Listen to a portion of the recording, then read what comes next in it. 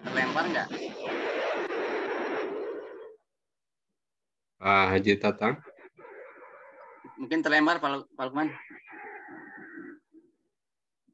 Tepat datang Ya, untuk kita- kita. Lukman. Kita tunggu. Oh iya, Si nih unmute dulu Kang Haji, Pak. Kang Haji Tatang. silakan Pak Haji. Sudah saya jadikan co-host. Oke, Bukan. siap. Oke, siap. Terima kasih. Maaf, barusan terpental. Oke, Bapak dan Ibu yang kami hormati, eh, kita awali acara ini dengan mengucapkan basmalah bersama-sama. Bismillah. Bismillahirrahmanirrahim. Bismillah. Assalamualaikum warahmatullahi wabarakatuh. Waalaikumsalam warahmatullahi wabarakatuh. Bismillah, alhamdulillah, nahmaduhu wa nasta'inuhu wa nastaghfiruh wa na'udzubillahi min syururi anfusina wa min sayyiati a'malina may yahdihillahu fala mudhillalah wa may yudhlil fala hadiyalah. Asyhadu an la ilaha illallah wahdahu la syarikalah wa asyhadu anna Muhammadan abduhu wa rasuluhu mab'utsu rahmatan lil alamin. Allahumma sholli wa sallim ala sayyidina Muhammadin wa ala alihi wa ashabihi ajmain. Robbi srohli sadri wa yassirli amri wa hlul 'uqdatam min lisani yafqahu qawli amma ba'd. Faya ayyuhal hadirun ittaqullah ittaqullaha haqqa tuqatih wa la tamutunna illa wa antum muslimun. Al ayah sadaqallahul azim. Puji marilah kita persembahkan terhadap Allah dan Rabbul Izzati Allah nan Suci, Allah yang meredoi gerak langkah dan perjuangan kita semua. Puja kita persembahkan terhadap Allah nan Azza wa Jalla, Allah nan Maha Gagah, serta Allah nan Maha Perkasa. Atas limpahan inayah serta hidayah daripadanya lah pada kesempatan malam hari ini kita bermu- bisa bermuwajahah, bi- bisa bersilaturahim dalam raraga, dalam rangka untuk eh, mensukseskan asesmen madrasah. Baik itu untuk jenjang madrasah ibtidaiyah, jenjang madrasah aliyah, dan juga untuk jenjang madrasah aliyah. Bapak dan Ibu yang kami hormati, rasa syukur kita persembahkan terhadap Allah nan Maha Gofur, Allah nan alamu mabidati sudur. Alhamdulillah pada kesempatan malam hari ini senantiasa kita diberikan usia dalam rangka untuk melaksanakan salah satu tugas dan kewajiban walaupun pada malam hari ini saya beristirahat namun pada kesempatan malam hari ini kita pergunakan waktu luang kita waktu senggang kita di tengah-tengah istirahat sambil eh, menyimak program yang akan kita laksanakan yaitu asesmen madrasah. Salawat serta salam semoga tetap tersulah kepada junjungan kita Nabi Yana wa Habibana Nabiullah Nabi besar Nabi Muhammad Sallallahu alaihi wasallam pada keluarganya, para sahabatnya, para tabi'in dan para tabi'innya dan sampailah kepada kita sekalian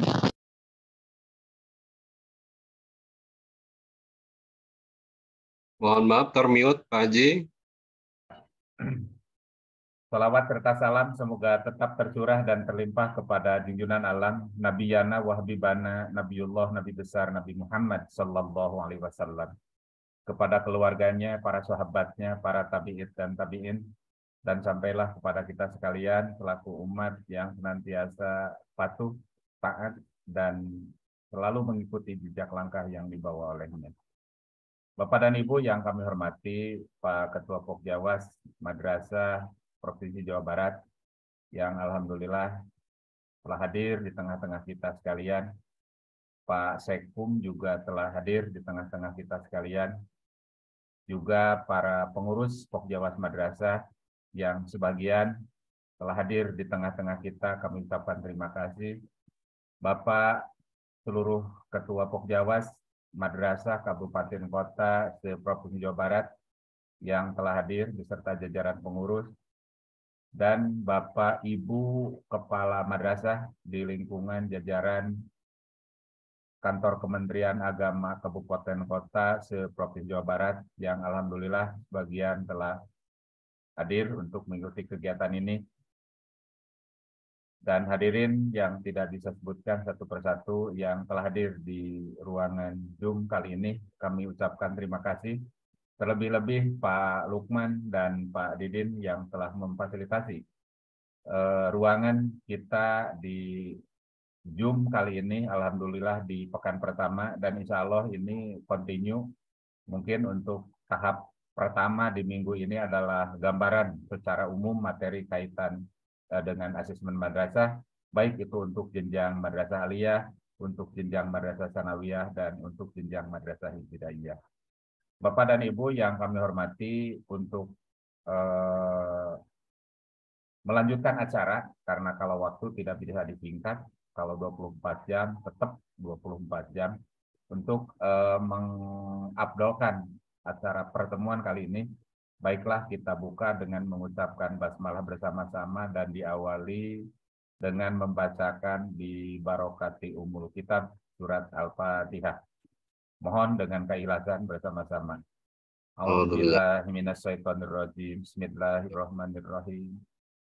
Alhamdulillahirabbil iya. alamin arrahmanir rahim. Iya. Maliki yaumiddin iyyaka na'budu wa iyyaka nasta'in.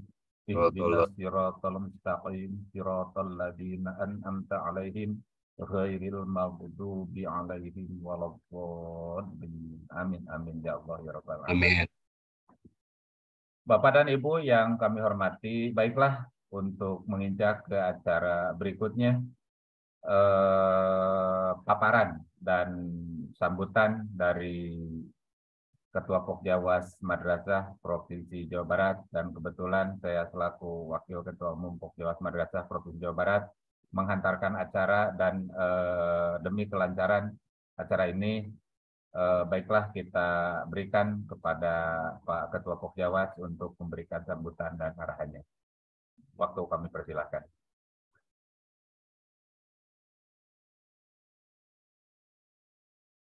Mic-nya belum terbuka, Pak Haji. Ya. Kang Lukman, sudah masuk? Ngereseknya. Ya, ada Ya, suara. udah.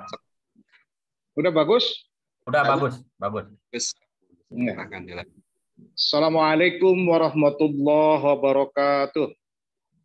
Waalaikumsalam warahmatullahi wabarakatuh. Bismillah, alhamdulillah. Nahmaduhu wa nasta'inuhu wa nastaghfiruh. Wa na'udhu billahi sururi anfusina wa min sayyiati a'malina. May yahdillah wa la mudhillalah. Wa ma yudhil fala ilaha illallah wahdahu la syarikalah.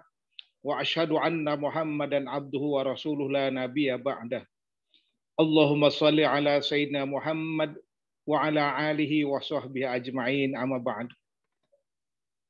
Terima kasih kepada Kang Lukman, Kang Didin yang sudah menyiapkan player untuk kegiatan kita pada malam hari ini.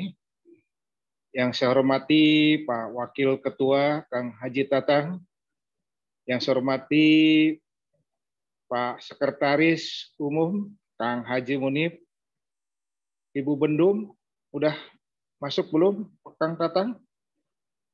Ya. Yang saya hormati seluruh pengurus Pokjawas Madrasah Provinsi Jawa Barat yang saya hormati, yang saya hormati dan saya banggakan Bapak Ibu Ketua Pokjawas Kabupaten Kota se-Provinsi Jawa Barat. Mungkin juga hadir Bapak Ibu Kepala ataupun Bapak Ibu Guru Madrasah Selamat bergabung dengan kami di Zoom untuk persiapan asesmen madrasah. Pertama, marilah kita bersyukur pada Allah SWT. Alhamdulillah pada malam hari ini, berkat ridho Allah SWT, kita bisa bersilaturahim walaupun di dunia maya. Mungkin bagi saya ini eh, apa ya kurang sehat, kecapean karena habis selesai kegiatan penilaian KNP di Bogor dari hari Senin sampai hari Jumat. Kemudian tadi serah terima kepala Madrasah Sanawiyah Binaan. Jadi belum mungkin masih kurang istirahat, jadi agak ngedrop. Mudah-mudahan doanya dari Bapak dan Ibu sekalian, saya kembali sehat dan Amin. mohon maaf pada malam hari ini pun Amin ya Allah ya Rabbal Alamin. Kami atau saya sendiri se- akan melaksanakan rapat juga di Masjid Jami yaitu tentang persiapan kegiatan Ramadan.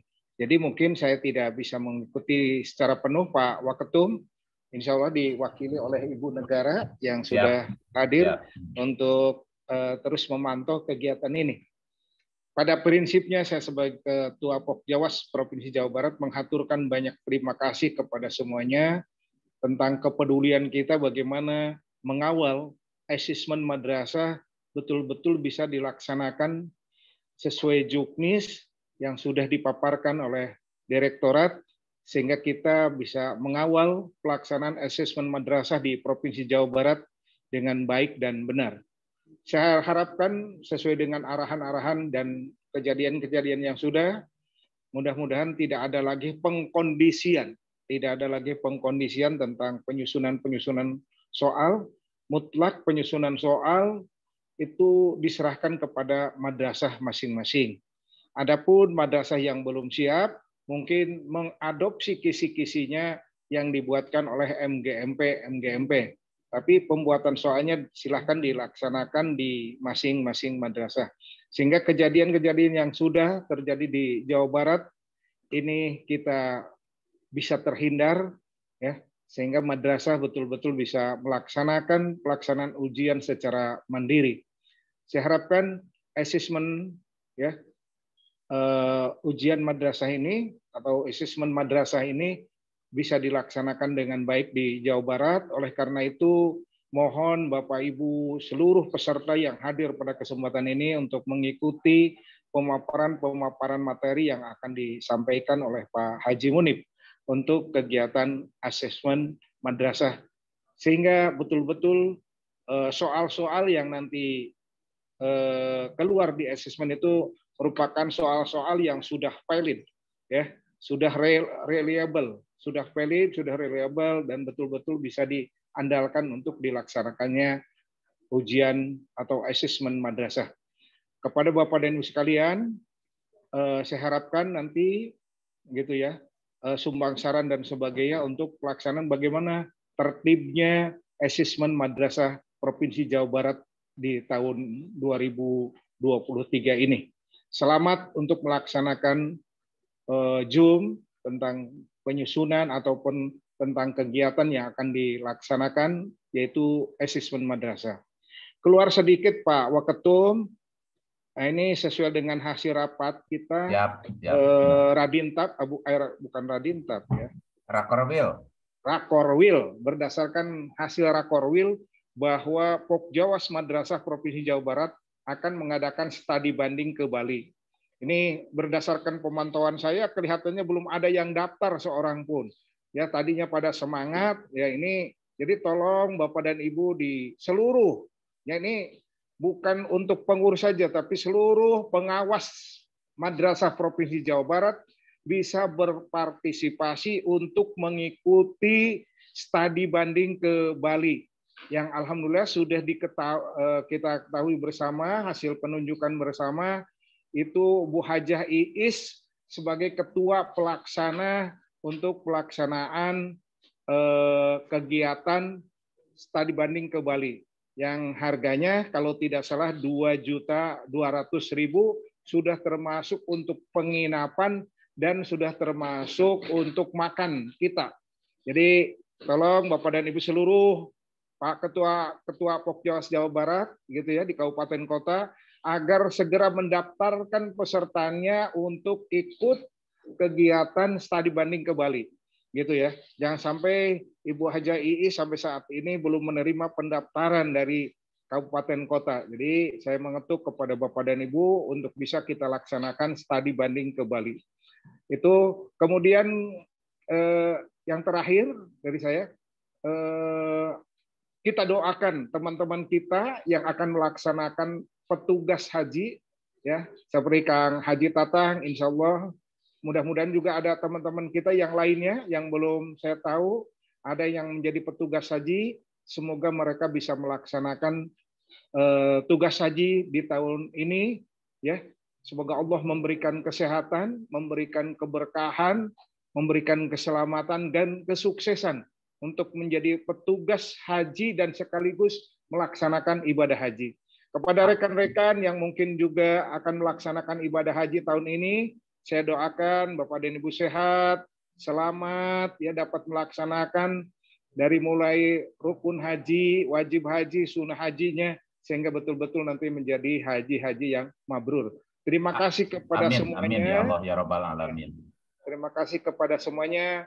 Mohon maaf saya tidak bisa secara langsung mengikuti kegiatan ini. Insya Allah diwakili oleh Ibu Negara karena saya sendiri akan memimpin untuk persiapan rapat di Masjid Jami dalam rangka kegiatan Ramadan tahun ini. Terima kasih kepada semuanya. Bila taufiqul hidayah. Assalamualaikum warahmatullahi wabarakatuh. Waalaikumsalam warahmatullahi wabarakatuh. Demikian sambutan dan arahan dari Pak Ketua Pokjawas Provinsi Jawa Barat. Terima kasih juga selamat beraktivitas untuk uh, mengikuti kegiatan yang lain di Masjid Jami di sana. Mudah-mudahan sukses untuk uh, menyambut acara bulan Ramadan uh, beserta kegiatannya. Amin ya Allah ya Rabbal alamin. Bapak dan Ibu yang kami hormati, uh, terima kasih kepada semuanya yang telah mengikuti. Sekarang sudah masuk 270 orang, masih terus bertambah ya 271. Terima kasih. Baik Bapak dan Ibu yang kami hormati, setelah uh, paparan materi yang akan disampaikan oleh uh, Pak Sekum nanti, Bapak dan Ibu semuanya nanti dipersilahkan ada sesi tanya jawab dan juga untuk sharing pada kesempatan kali ini. Baiklah Bapak dan Ibu, eh, untuk acara yang selanjutnya kami serahkan sepenuhnya Pak Sekum untuk eh, menyampaikan paparan materinya kaitan dengan adjustment madrasah pada kesempatan kali ini. Untuk itu waktu kami persilahkan. Kang Haji Munif, mangga. Bismillahirrahmanirrahim. Assalamualaikum warahmatullahi wabarakatuh. Waalaikumsalam warahmatullahi wabarakatuh. Uh, suara terdengar jelas? Jelas, jelas, jelas. Jelas. Jelas sekali. Uh, saya sumputkan sengaja tidak tampakkan video karena biar sinyalnya bagus. Siap, siap. Alhamdulillah wassalatu wassalamu ala Rasulillah wala haula wala quwata illa billah amma ba'du. Yang saya hormati Ketua Pokjawas Provinsi Jawa Barat Bapak Haji Abdul Ajid, kemudian Wakil Ketua Umum Bapak Haji Tatang, serta beberapa pengurus Pokjawas Madrasah yang sempat hadir pada kali ini, Jawas Provinsi, termasuk juga seluruh ketua-ketua Pokjawas Kabupaten Kota yang ada di Jawa Barat, dan juga beberapa guru mungkin kepala yang ikut serta pada kegiatan kali ini. Puji syukur kita panjatkan kehadirat Allah yang Maha selawat serta salam semoga tetap terlimpahkan kepada baginda Rasulullah Shallallahu Alaihi Wasallam.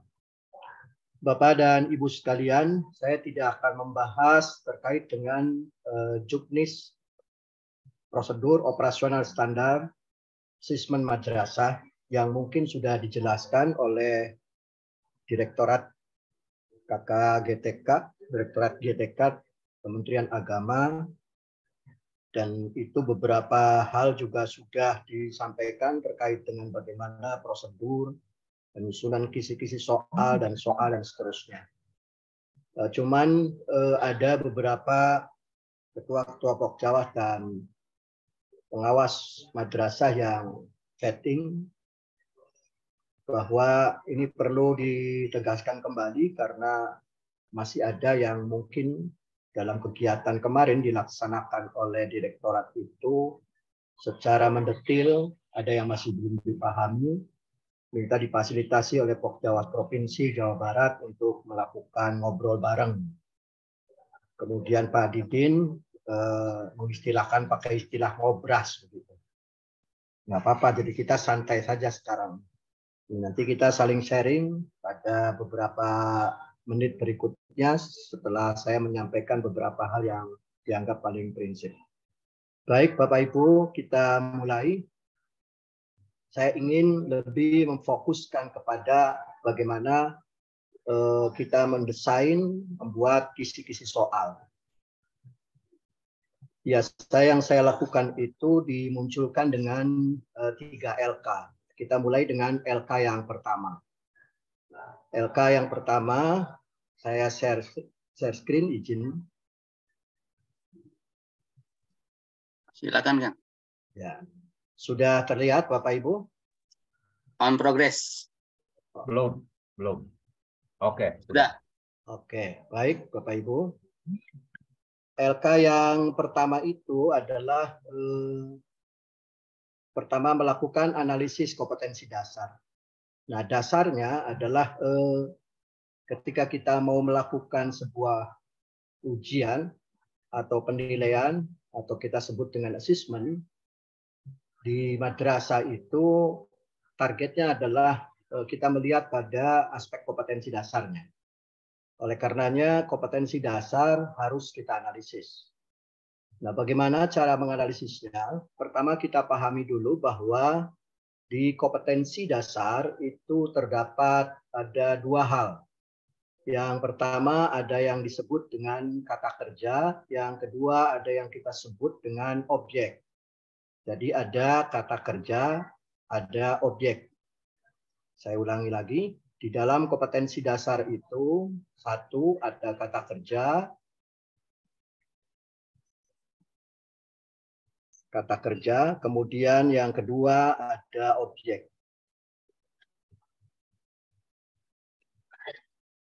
Pada kompetensi dasar, kata kerja itu memiliki sifat dan jumlah. Jadi ada sifat, kemudian ada jumlah. sifat kata kerja pada kompetensi dasar itu bisa dalam bentuk kata kerja yang operasional, ada juga yang bersifat abstrak.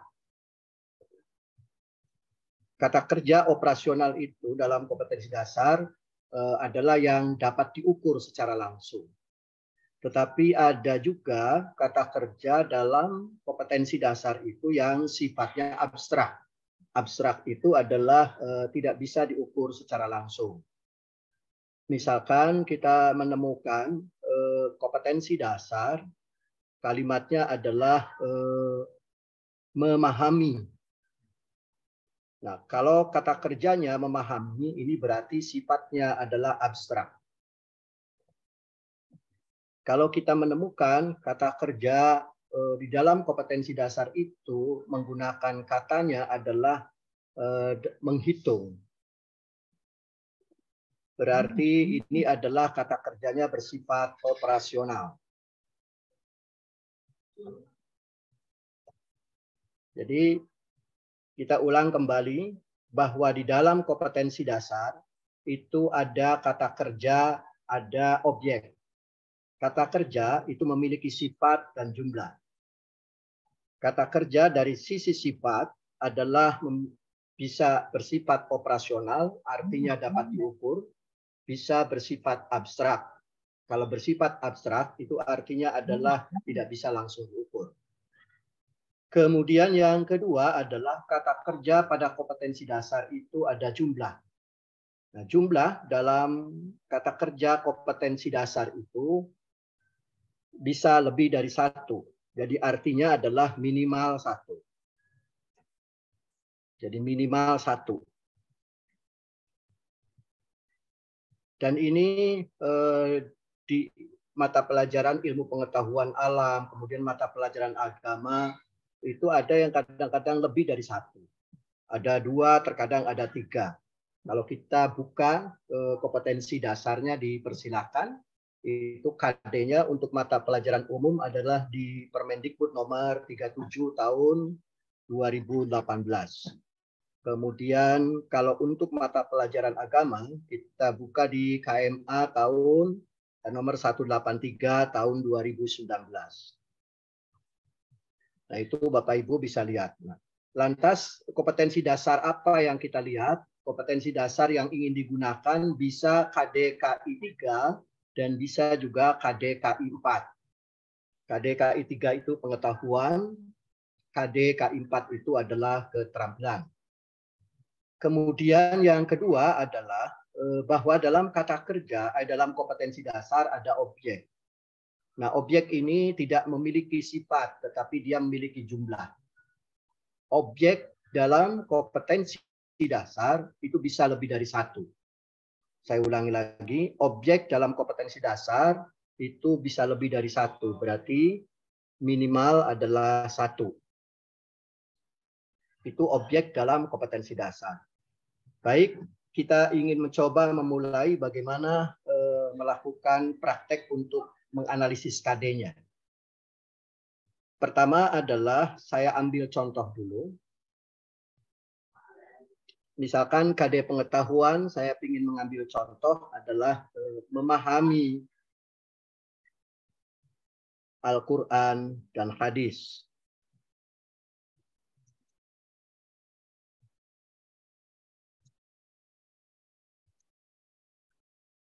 Nah, kalau saya lihat dari contoh ini, Bapak Ibu, maka sudah nampak bahwa di dalam KD pengetahuan ini, ciri bahwa ini adalah KD pengetahuan ditandai dengan angka tiga di depannya.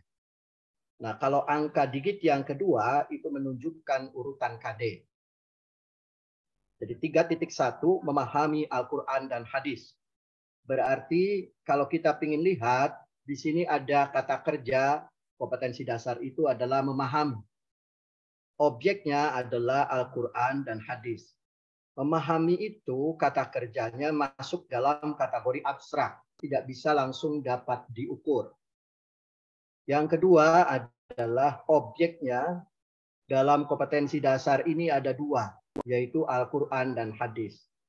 Nah, pada LK ini kita tuliskan. Yang pertama adalah kata kerja di sini. Nah, kata kerjanya ada satu, kita tulis di sini memahami. Kemudian objeknya ada dua, Al-Quran dan hadis. Kita masuk di sini, Al-Quran, kemudian yang kedua hadis. Nah, setelah itu, Bapak Ibu, eh, baru kemudian setiap guru harus memahami bahwa kata kerja kompetensi dasar dengan menggunakan memahami ini masuk pada level kognitif di mana? Level kognitif apa? Level kognitif. Satu. Kita tahu semua bahwa di dalam kompeten dalam level kognitif itu yang kita gunakan adalah pengembangan dari teori taksonomi Bloom yang dikembangkan oleh Anderson dan Krakel tahun 2000 satu, mengklasifikasikan level kognitif itu menjadi enam. Yaitu yang sering kita sebut adalah C1, kemudian sampai C6. C1 sampai C6. Nah, kita jangan tertukar dengan menggunakan level kognitif yang lama. Bedanya level kognitif yang lama dengan menggunakan level kognitif yang baru, yaitu yang revisi Anderson dan Krakel itu sudah menggunakan katanya kata kerja. Jadi menggunakan kata kerja. Sehingga C1 ini kalimatnya adalah mengingat. Kemudian C2 adalah memahami. C3-nya adalah menerapkan. C4-nya adalah menganalisis. Kemudian C5-nya adalah mengevaluasi. C6-nya adalah mencipta atau mengkreasi. Atau mengkreasi. Nah, Bapak Ibu, eh, masih ada guru yang menggunakan eh, level kognitifnya adalah eh, belum revisi Anderson dan Krathwohl cirinya gampang. Kalau dia C1-nya masih menggunakan kata adalah ingatan, kemudian ini pemahaman, Kemudian penerapan berarti itu masih menggunakan yang lama. Kemudian ada C5-nya sintesis itu masih menggunakan yang lama. Karenanya diberikan kata kerja operasional yang baru. Yang baru itu yang revisi Anderson dan Cradwell tahun 2001 adalah menggunakan kata kerja bahasanya. Mengingat, memahami, menerapkan, menganalisis, mengevaluasi, mencipta atau mengkreasi. Itu yang perlu dipahami. Sehingga KKO-nya itu harus jelas seperti ini. Dan nanti insya Allah akan saya sharekan yang terkait dengan kata kerja operasional level kognitif yang revisi Anderson dan Kraftwerk. Kemudian Anderson dan Kraftwerk itu membagi level kognitif adalah menjadi tiga. Yang sering kita istilahkan adalah dengan istilah lot. Ini lot Bapak Ibu. Kemudian mod. Kemudian hot. Jadi modnya itu ada dua di sini Bapak Ibu. Kemudian hotnya itu ada tiga, yaitu menganalisis, mengevaluasi, mencipta. Nah, sebelum kita memahami level lot, mod, dan hot itu, perlu juga sekedar saya sampaikan untuk menjadi kata kunci. Bahwa penjelasan-penjelasan memang cukup banyak, tapi saya mencoba untuk mendeskripsikan dengan kata kunci yang sederhana. Bahwa mengingat itu adalah berarti kemampuan siswa yang dituntut pada aspek yang terkait dengan lebih cenderung pada hafalan kalau memahami itu bukan hanya sekedar hafal, tetapi mampu mendeskripsikan. Kalau menerapkan itu adalah eh, punya kemampuan menggunakan ilmu pengetahuan yang dia miliki atau menggunakan pengetahuan yang dia miliki untuk diaplikasikan. Nah, kalau menganalisis itu ada dua, kemampuan menguraikan dan yang kedua adalah kemampuan e, menyimpulkan. Menguraikan itu berarti pendekatannya adalah deduktif, sedangkan eh, yang dimaksud dengan kemampuan menyimpulkan itu pendekatannya induktif. Jadi menganalisis itu ada dua pendekatan, yaitu deduktif dan induktif. Kemudian yang kelima yang kita sebut dengan mengevaluasi itu adalah eh, membandingkan sesuatu dengan kriteria tertentu. Nah, itu mengevaluasi. Sedangkan C6 mencipta atau mengkreasi itu membangun sebuah gagasan, ide dalam konteks penyelesaian masalah atau yang lainnya. Nah ini lots, mod, dan hot. Jadi saya kasih warna kuning, ini yang hotnya. Kemudian yang modsnya adalah kita kasih warna hijau. Kemudian yang lotnya kita kasih warna biru perlu diperhatikan juga oleh semuanya bahwa lots mod dan hot itu bukan menggambarkan tingkat kesulitan. Tetapi lots mod dan hot itu adalah menggambarkan proses berpikir. Maka disingkat uh, disingkatannya adalah hot itu higher order thinking skill, membangun keterampilan berpikir tingkat tinggi. Jadi istilahnya adalah ini bukan sulit, tapi tinggi. Kemudian mods itu middle berarti menengah. Kemudian yang terkait dengan lots itu bukan mudah tetapi rendah. Nah, ini yang perlu kita pahami yang sok seling uh, ada kekeliruan pada guru yang disebut ilmu baru yaitu adalah ilmu kelirumologi gitu. Jadi lots itu rendah, uh, mods itu menengah, kemudian hot itu tinggi. Bagaimana cara membedakannya? Cara membedakannya begini. Kalau kita punya aqua begitu, atau kita punya korek api, uh, ketika diberikan pertanyaan kepada siswa, merek apa korek api tersebut, nah itu level berpikir rendah. Jadi lots. Tetapi kalau kemudian kita memberikan pertanyaan kepada siswa adalah e, coba unsur-unsur apa saja yang terdapat dalam korek api itu. Nah, itu sudah kemampuan berpikir tingkat menengah. Jadi lots itu ketika menjawab persoalan tidak langsung tidak lagi dia berpikir cabang, cukup sekaligus. Tapi begitu level mods itu sudah mulai berkembang. Ada tahapan walaupun tidak banyak. Nah, tapi begitu hot, misalkan begini. Kita punya korek api dua gitu. Yang satu merek A, yang satu merek B. Coba bandingkan unsur-unsur yang terdapat pada korek api merek A dan korek api unsur-unsur yang terdapat pada korek api merek B. Nah, itu sudah level berpikirnya adalah bukan lagi pada konteks eh, kemudah hafalan atau kemudian pemahaman, tetapi dia harus berpikir secara bertahap untuk menyelesaikan sesuatu itu.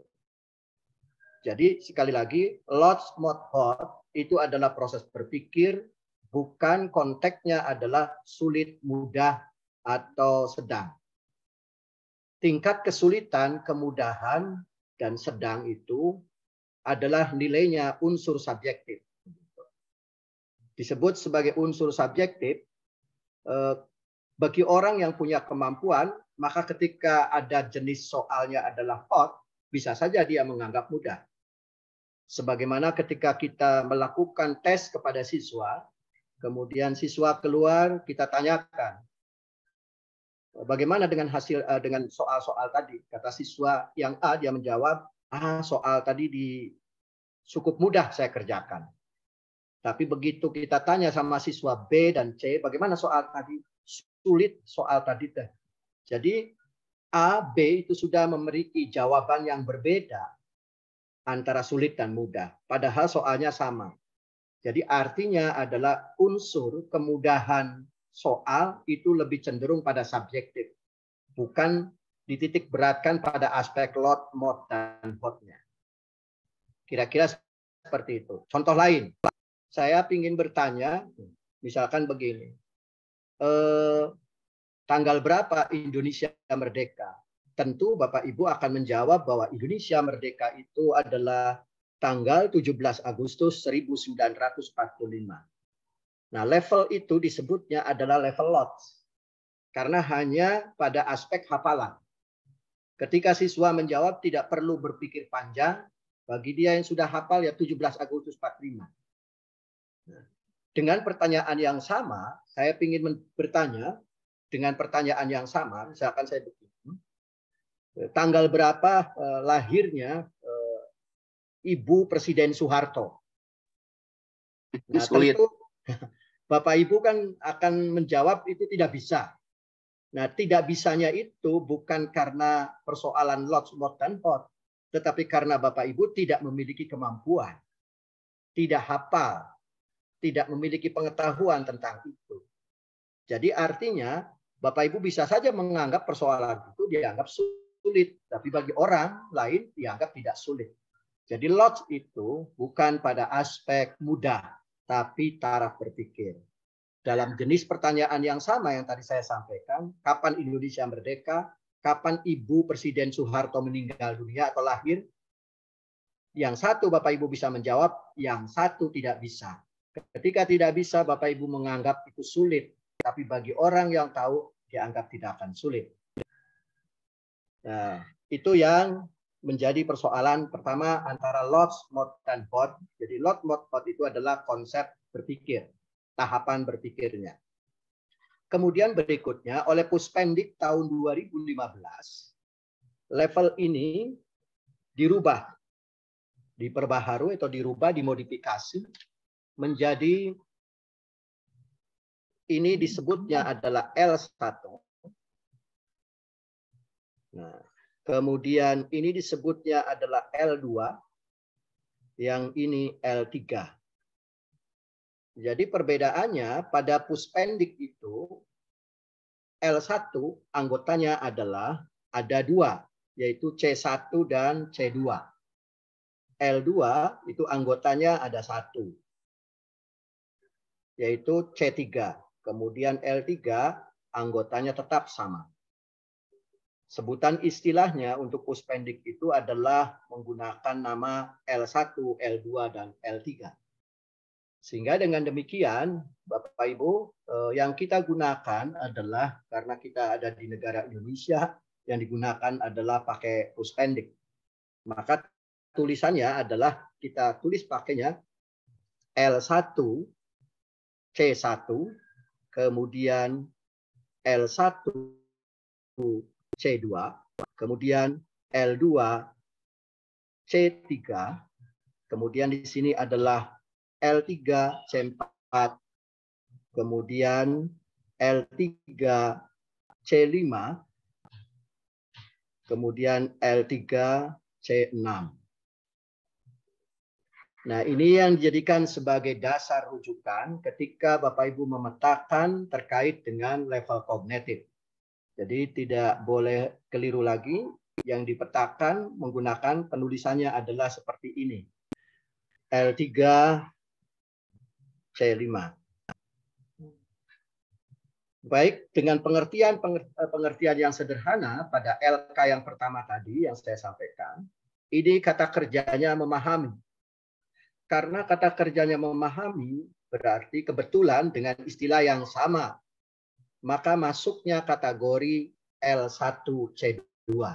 Nah, kita tulis di sini nanti berarti masuknya kategori L1C2.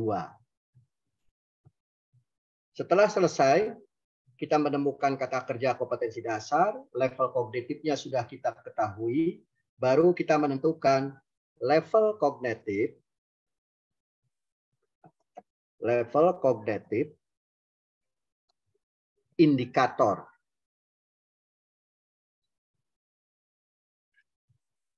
Nah, ketika kita mau menentukan level kognitif indikator, maka kita harus paham dulu terkait dengan bagaimana ketentuan yang sesungguhnya untuk level kognitif indikator itu. Nah, pada kurikulum yang lama, sebelum diarahkan pada keterampilan pembelajaran abad 21, ada ketentuan seperti bahwa kata kerja dalam setiap kompetensi dasar itu menjadi target maksimal. Saya ulangi, kata kerja pada kompetensi dasar itu adalah menjadi target maksimal dalam konteks pembelajaran. Karena menjadi target maksimal dalam konteks pembelajaran, maka level kognitif indikator adalah tidak boleh lebih dari level kognitif kompetensi dasar. Saya ulangi. Karena kata kerja pada kompetensi dasar itu menggambarkan adalah target maksimal untuk pencapaian sebuah kurikulum atau materi pembelajaran, maka level kognitif indikator itu tidak boleh melampaui level kognitif kompetensi dasar. Karena ini sudah dianggap maksimal. Karena tidak boleh melampaui level kognitif kompetensi dasar, yang dapat kita turunkan menjadi level kognitif indikatornya adalah berarti L1, C1, kemudian L1 yang bisa kita buat adalah C2. Nah, cuman sampai di situ.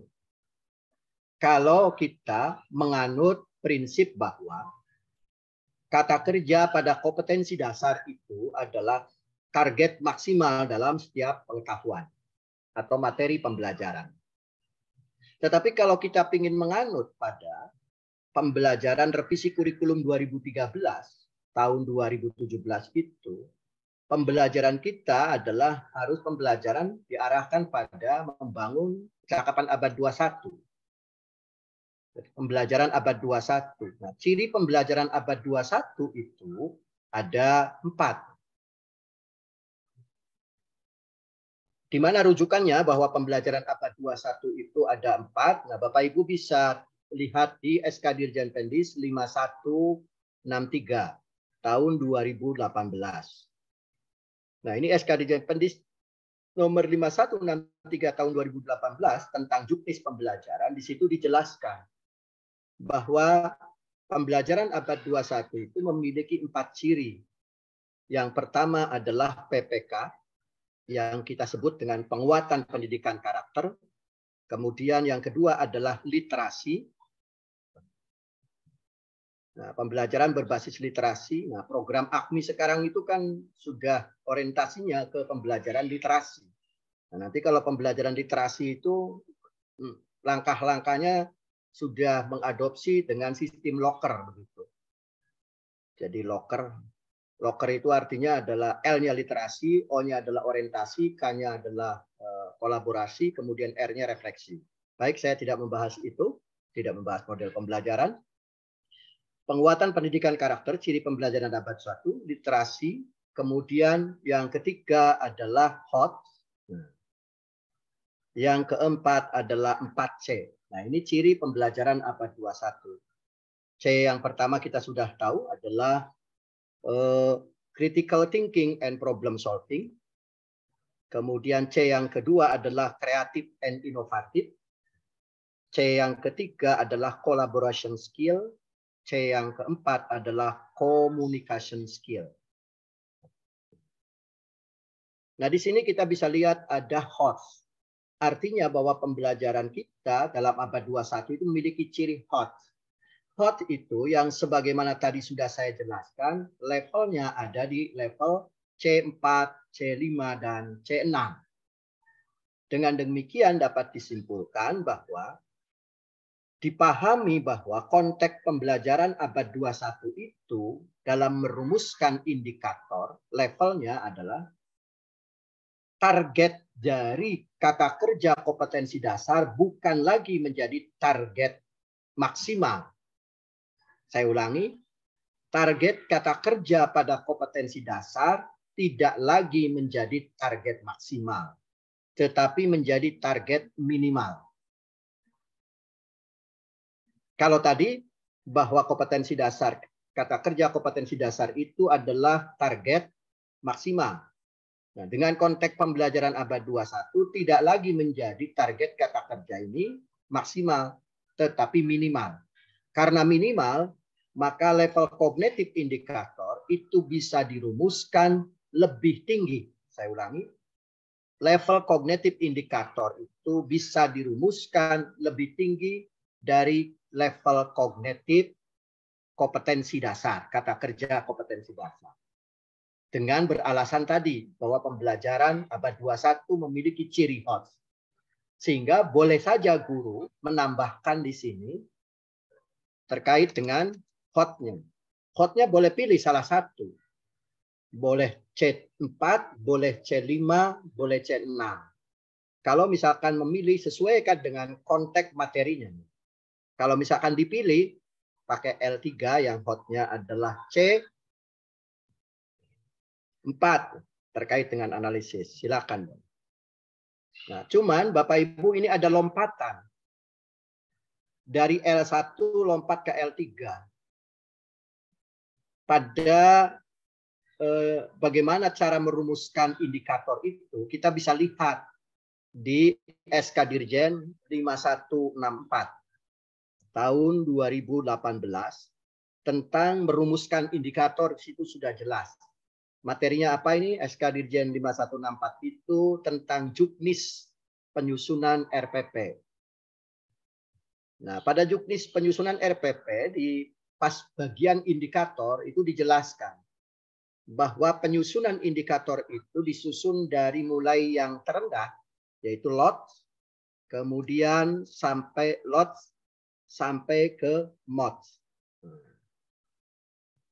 Maksudnya apa?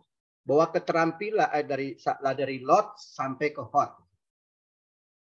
Maksudnya apa? Menggambarkan bahwa dalam konteks merumuskan indikator itu dimulai dari level yang paling rendah dulu. Kemudian baru sampai pada level yang tinggi. Nah, ketika dari level yang terendah sampai ke level yang tertinggi, berarti di tengah itu ada masuk adalah level menengah. Level menengahnya apa? Yaitu adalah mods. Maka ketika merumuskan di sini, ada yang terlewat, yaitu modsnya. Modsnya itu adalah, mods itu level berapa? L2, C3. Maka masukkan oleh kita satu lagi di sini, L2 C3. Jadi sekarang sudah didapatkan level kognitif indikatornya adalah L1C1, L1C2. Nah, tambahannya L2C3 dan L3C4 karena menganggap bahwa kata kerja kompetensi dasar ini adalah target minimal, bukan target maksimal. Kenapa harus menjadi target eh, minimal? Karena konteks pembelajaran kita revisi kurikulum 2013 ke revisi tahun 2017 itu revisinya adalah pembelajaran abad 21. Itu yang pertama. Selesai kita menganalisis kata kerja kompetensi dasar. Kita masuk ke kata kerja, eh, menganalisis yang terkait dengan objek kompetensi dasar.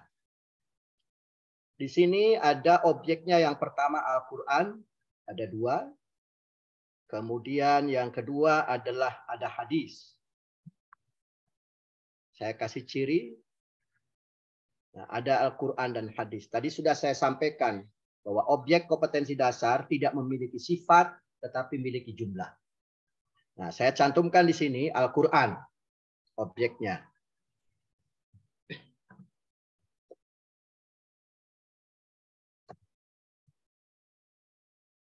Setelah kita mendapatkan tentang uh, objek kompetensi dasar Al-Quran, nah ini harus dikembangkan menjadi materi. Mengapa harus dikembangkan menjadi materi? Karena objek biasanya dalam kompetensi dasar itu masih bersifat ijmal, masih bersifat global, masih bersifat umum. Jadi perlu untuk diberikan rincian. Jadi disebutnya adalah merinci atau menguraikan terkait dengan objek kompetensi dasar itu menjadi beberapa materi. Bagaimana cara menguraikannya, kemudian mencoba untuk diurai secara rinci terkait dengan objek kompetensi dasar itu, referensi yang digunakan adalah pertama buku teks siswa bisa, buku guru bisa. Nah yang paling penting adalah di samping buku teks dan buku guru, yang bisa dijadikan untuk kita menguraikan objek menjadi materi itu adalah berbasis pengalaman. Maksudnya bagaimana? Begini. Ketika guru hendak mengajarkan tentang materi Al-Quran, tentu tidak langsung dia bahwa ini adalah Al-Quran, tidak. Tapi melalui tahapan berdasarkan hierarki keilmuan. Saya ulangi, ketika ingin mengajarkan guru tentang Al-Quran, maka dia harus mengajarkan berdasarkan hierarki keilmuan secara sistematis. Berarti ketika dia ingin mengajarkan Al-Quran, maka biasanya berbasis pengalaman adalah kita bisa paham sendiri mulai guru itu dengan pertama menjelaskan tentang pengertian Al-Quran kan begitu. Yang kedua bicara tentang mungkin sejarah turunnya Al-Quran. Sejarah turunnya Al-Quran sejarah turunnya Al-Quran.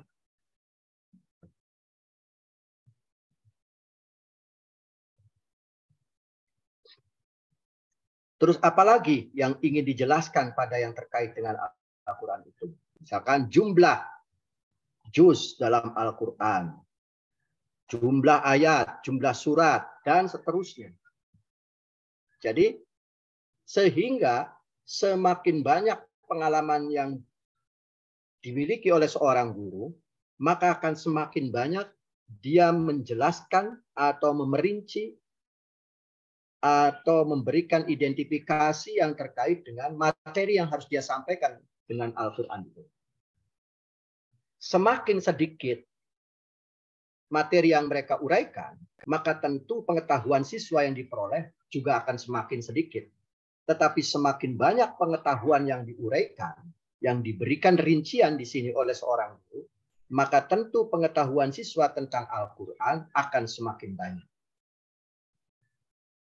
Nah, itu kira-kira yang terkait dengan materi. Sejarah turunnya Al-Quran, jumlah juz, kemudian jumlah surat dalam Al-Quran, jumlah ayat, kemudian bagaimana tentang proses eh, apa sih terkait dengan ayat makiyah, ayat madaniyah dan seterusnya. Nah, banyak. Bagaimana kalau di sininya matematik misalkan bilangan? Ya tentu dia mulai dari pengalaman guru ketika menjelaskan bilangan, ya mulai dari pengertian bilangan, kemudian macam-macam bilangan. Kalau kebetulan lagi materinya di sini terkait dengan bilangan bulat, apa sih pengertian bilangan bulat itu? Kemudian dia harus eh, bagaimana cara penjum, operasi penjumlahan bilangan bulat itu, operasi pembagian, operasi pengurangan, operasi perkalian. Kalau tentang zakat, pengertian zakat, macam-macam zakat, kemudian syarat zakat, kemudian bagaimana tata cara zakat, jenis-jenis zakat. Kalau masalah sholat, pengertian sholat, kemudian apalagi syarat sholat, rukun sholat, sunnah sholat, hikmah sholat, batal sholat, praktek sholat. Semakin banyak materi yang diungkap, maka tentu pengetahuan yang dimiliki oleh siswa akan semakin banyak. Kira-kira begitu. Sehingga dibutuhkan kemampuan guru bagaimana merancang atau menguraikan materi lebih banyak.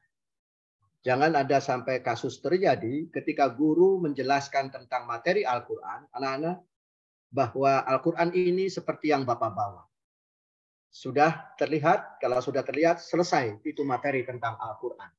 Nah, itu kan memberi pengetahuan kepada siswa tidak banyak. Berikutnya adalah Bapak Ibu, setelah kita mendapatkan materi, tentu kita harus paham tentang karena materi ini menyangkut masalah pengetahuan, maka harus kita klasifikasikan jenis pengetahuannya atau sering disebut dengan dimensi pengetahuannya. Nah, dimensi pengetahuan itu Bapak Ibu ada empat yang sering kita lihat dan dalam SK Dirjen Pendis nomor 5163 tentang juknis pembelajaran. Ini ada di situ disebutkan. Juknis pembelajaran.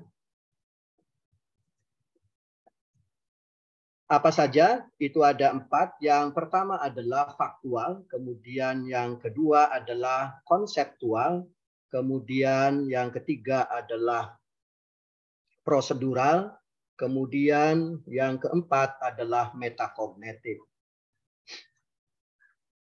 Nah, dari beberapa definisi, kalau Bapak Ibu baca, itu mungkin rumit. Nah, saya ingin menggambarkan yang sederhana melalui istihad saya saja begitu. Kalau faktual dari beberapa referensi, bahwa materi atau pengetahuan faktual itu lebih cenderung kepada masalah kebendaan, peristiwa, sejarah, tentang fakta aja yang real. Sedangkan konseptual itu lebih cenderung kepada aspek definisi, faktor-faktor, prinsip, dan teori. Sehingga kalau saya boleh menyebutkan, kalau pengetahuan faktual itu nilai kebenarannya adalah mutlak. Kalau pengetahuan konseptual itu nilai kebenarannya adalah relatif, tergantung sudut pandang.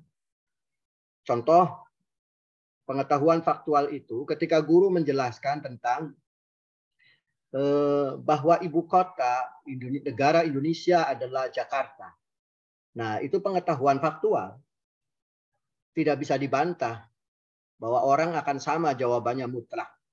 Tapi begitu bicara tentang pengetahuan konseptual, sudut pandang orang bisa berbeda dalam mendefinisikan itu. Misalkan definisi sholat bagaimana ada perbedaan pendapat. Definisi jakat bagaimana perbedaan pendapat.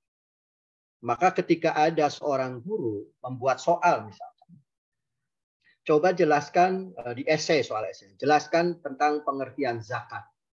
Nah, jelaskan tentang pengertian zakat. Nah, ketika ada siswa memberikan jawaban, zakat adalah menurut Imam Turmudi seperti ini. Nah, kemudian jawaban yang diberikan oleh siswa itu ternyata tidak sependapat dengan pendapat gurunya. Karena gurunya penganut imam eh, penganut madhab Maliki. Imam Turmudi tidak sesuai dengan pengertian Imam Maliki, maka jawaban siswa itu disalahkan. Nah, itu tidak bisa. Tadi yang saya sebutkan bahwa kebenaran pengetahuan konseptual itu lebih bersifat relatif. Kalau guru ingin menghendaki jawabannya adalah jawaban Maliki, maka soalnya yang harus dia rubah. jelaskan pengertian zakat menurut Imam Malik. Nah, itu lebih lebih fair. Sehingga ketika ada siswa menjawab di luar pendapat Imam Malik itulah salah. Karena sudah jelas dalam soalnya, dalam pokok soalnya atau yang disebut dengan STEM. Kemudian yang kedua adalah proses. Nah, pengetahuan proses itu pengetahuan yang eh, siswa diminta untuk berkaitan dengan strategi, merumuskan sesuatu, tahapan, proses tertentu. Nah, itu yang disebut dengan pengetahuan prosedural. Yang terakhir adalah pengetahuan metakognitif. Nah, pengetahuan metakognitif itu terkait dengan evaluasi diri, kemudian eh, bagaimana mengkaitkan dengan pengetahuan dalam konteks kehidupan sehari-hari atau dengan mata pelajaran lain. Nah, itu secara sederhananya pengetahuan metakognitif.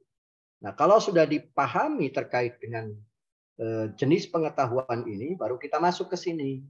Nah, nah pengertian itu masuk pengetahuan konseptual. Kemudian sejarah turunnya Al-Quran, nah itu masuk ke pengetahuan faktual. Kemudian jumlah juz itu faktual. Jumlah ayat juga sama, faktual semua.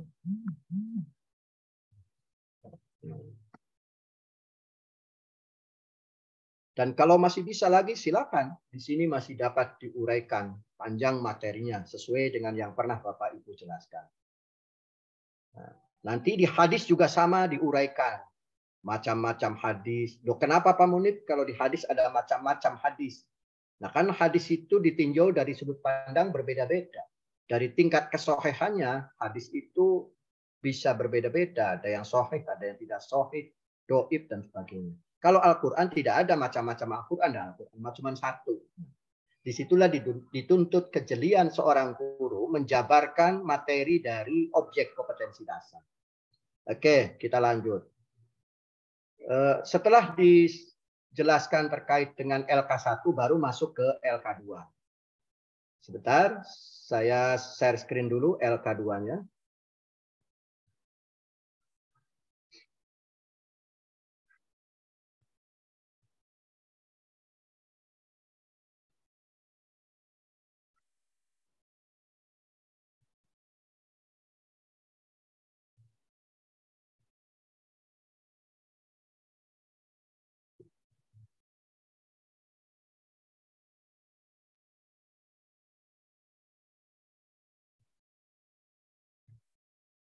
Pak Munib, kalau ada yang nanya di chat aja ya, ditulis di ya, chat. boleh, boleh, silakan.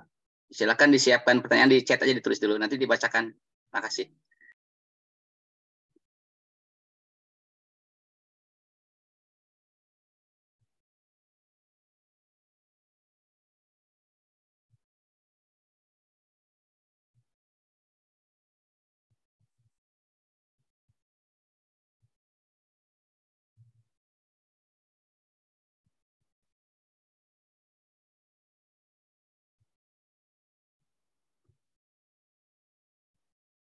Bentar Pak ya. Saya lagi tadi sudah saya siapkan padahal, tapi kok nggak muncul. LK, IPK dan indikator.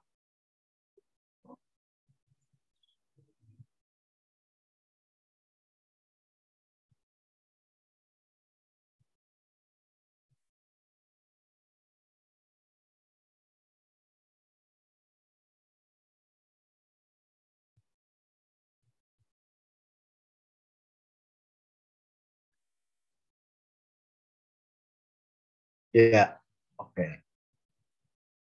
Sudah terlihat Bapak Ibu? Sudah, sudah. sudah Oke, muncul. baik. Nah, setelah LK pertama eh, menganalisis terkait dengan kata kerja pada kompetensi dasar, kemudian yang kedua adalah menganalisis objek kompetensi dasar.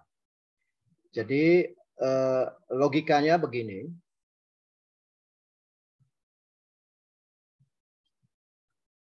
ketika kita menganalisis kompetensi dasar, di situ didapatkan ada kata kerja. Kata kerja kompetensi dasar akan melahirkan level kognitif. Tadi sudah pada LK pertama itu. Kata kerja kompetensi dasar akan melahirkan level kognitif. Sedangkan eh, pada kompetensi dasar ada objek. Nah, objek itu akan melahirkan materi dan dari materi akan melahirkan dimensi pengetahuan.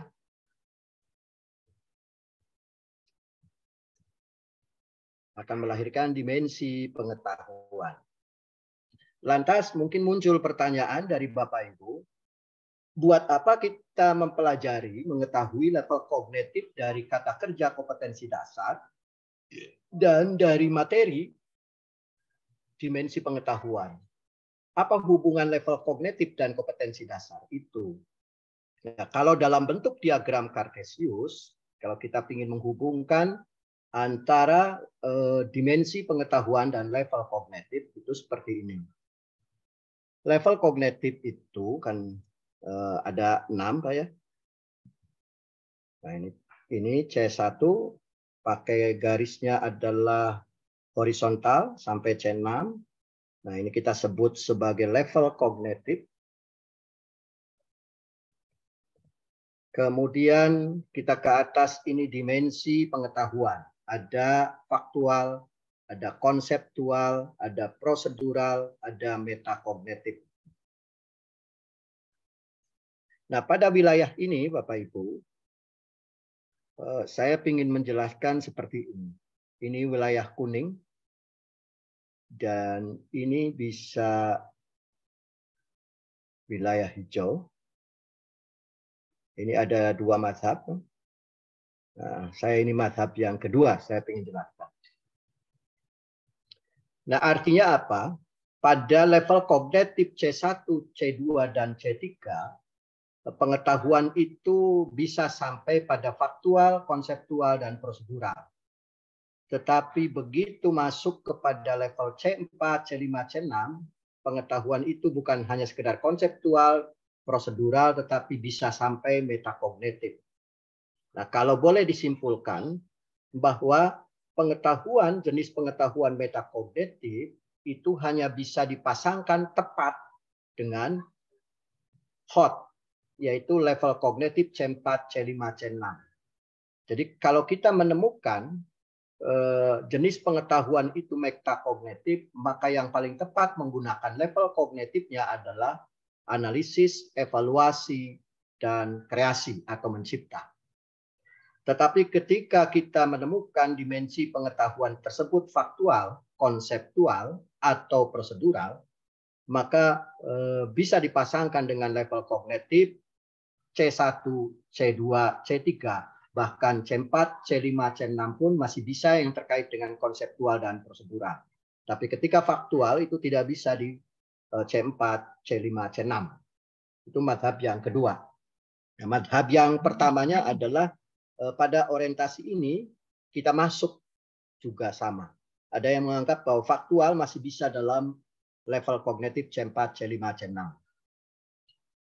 Nah, dari sini kita nanti akan menghubungkan terkait dengan yang cocoknya bahwa level pengetahuan dengan dimensi pengetahuan itu di mana. Baik, eh, kita masuk ke LK hubungan level kognitif, materi, dan KKO. Level kognitif untuk IPK kan tadi sudah pada LK1 saya jelaskan. Ada berapa?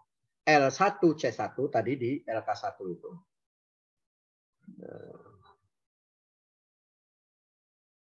Kan tadi di LK1 itu untuk indikator untuk IPK, IPK kan indikator pencapaian kompetensi. Saya menuliskan tadi kan L1 C1 Mohon maaf kalau kemudian saya agak cepat sedikit ya biar nanti ada waktu ruang tanya jawab karena waktu sampai jam 12. Tentu ini kan kalau di madrasah melakukan pembinaan seperti ini memang butuh waktu hampir 2 jam, 3 jam, 4 jam begitu. Kalau dengan prakteknya sampai sempurna. Saya rumuskan IPK itu kan L1 C1, kemudian L1 C2, kemudian L2 C3, kemudian L3 C4 yang tadi saya tekankan. Karena apa? Karena pembelajaran kecakapan abad 21.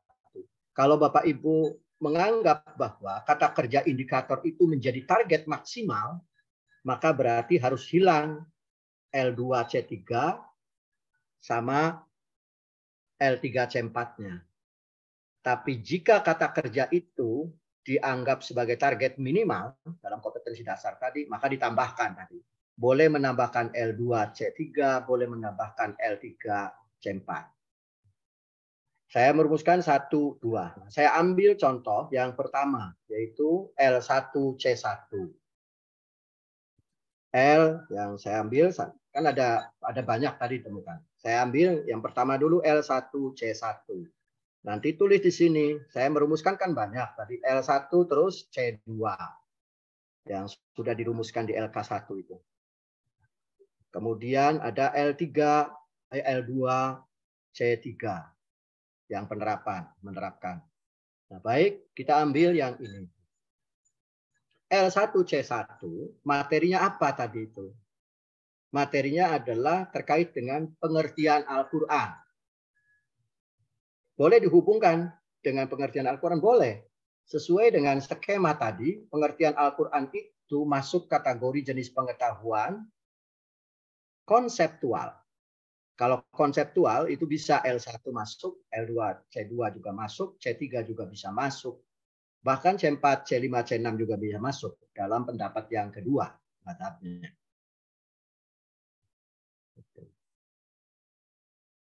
Berarti kita hubungkan dengan konseptual L1C1 itu. Karena apa? Karena pengertian Al-Quran itu adalah dimensi pengetahuannya konseptual. Gitu. Yang sudah saya tadi contohkan. Nah, ini materinya adalah terkait dengan tadi pertama itu adalah saya tulis pengertian Al-Quran.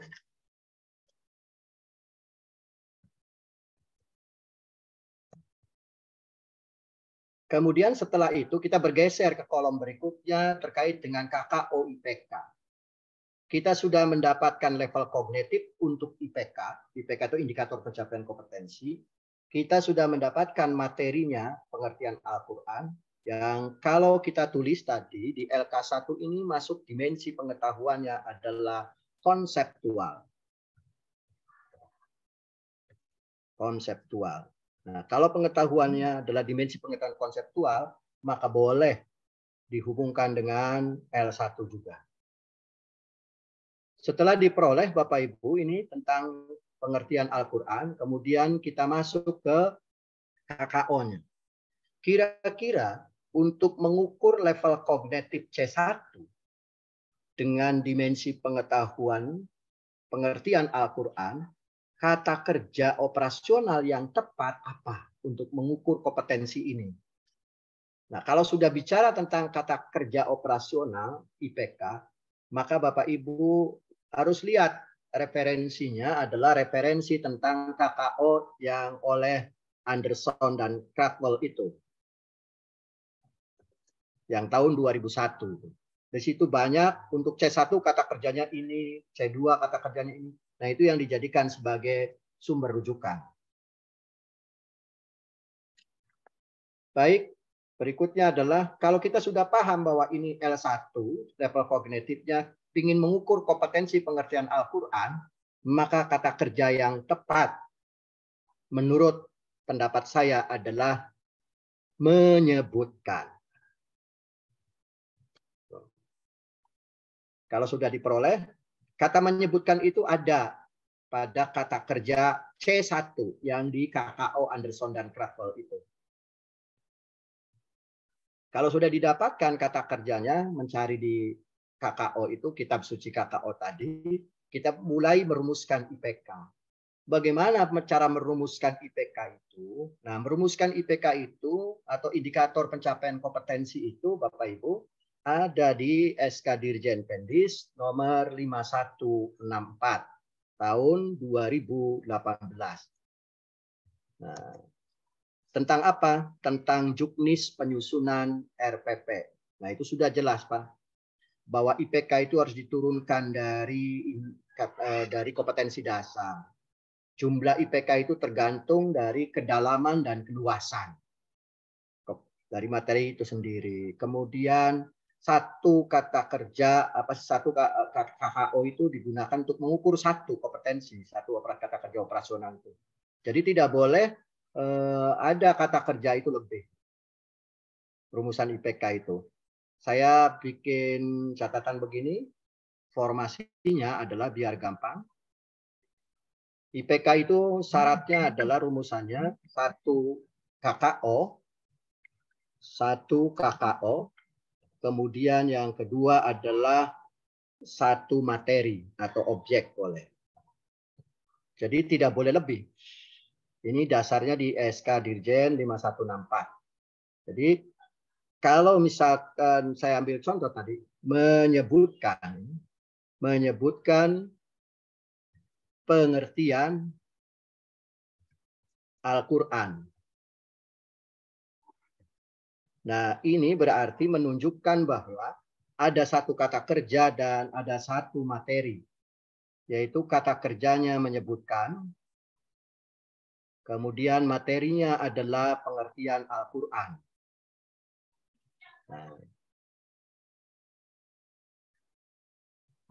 Jadi kalau dua kata kerja, dua KKO, satu materi, itu juga tidak bisa. Contohnya adalah misalkan menyebutkan dan mengidentifikasi. Menyebutkan pengertian dan mengidentifikasi ciri-ciri tumbuhan di kotil. Berarti kata kerjanya ada dua. Yang pertama adalah menyebutkan, kemudian yang kedua adalah mengidentifikasi dan mengidentifikasi. Mengidentifikasi. Ini berarti mengidentifikasi tumbuhan dikotik. Berarti kata kerjanya ada dua. Objeknya tadi satu. Nah bagaimana kalau objeknya dua? Sama tidak boleh. Makanya dipisahkan. Tidak bisa kita membuat KKO menyebutkan pengertian Al-Quran dan hadis. Nah, itu tidak bisa. Ada dua kata kerja. Ada, ada dua objek. Oke, kita masuk. Berarti bagaimana cara merumuskan IPK? Satu kata kerja dan satu materi materinya sudah jelas pengertian Al-Quran, KKO-nya sudah jelas menyebutkan. Tinggal kita sambungkan saja. Berarti di sini kita tulis menyebutkan pengertian Al-Quran. Selesai. Satu indikator. Berikutnya setelah Bapak Ibu mendapatkan rumusan IPK, baru masuk ke rumusan indikator soal. Nah, pola untuk merumuskan indikator soal itu, saya sudah biar jangan menulis lagi.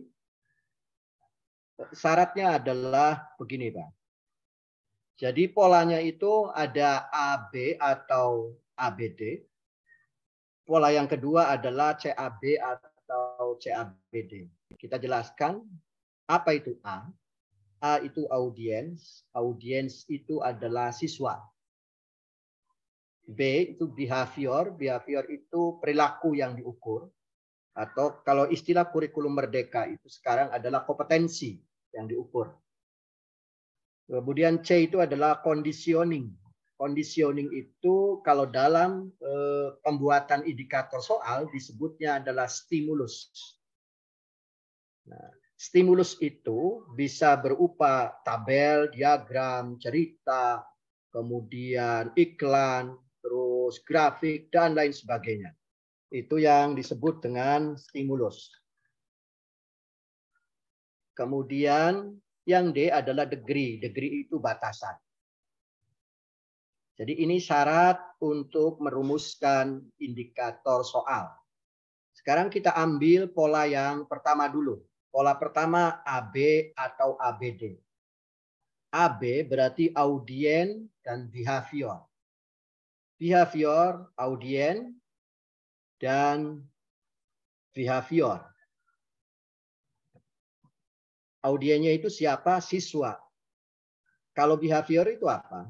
Perilaku yang diukur. Perilaku yang diukur itu di mana adanya? Yaitu di IPK. Jadi di IPK.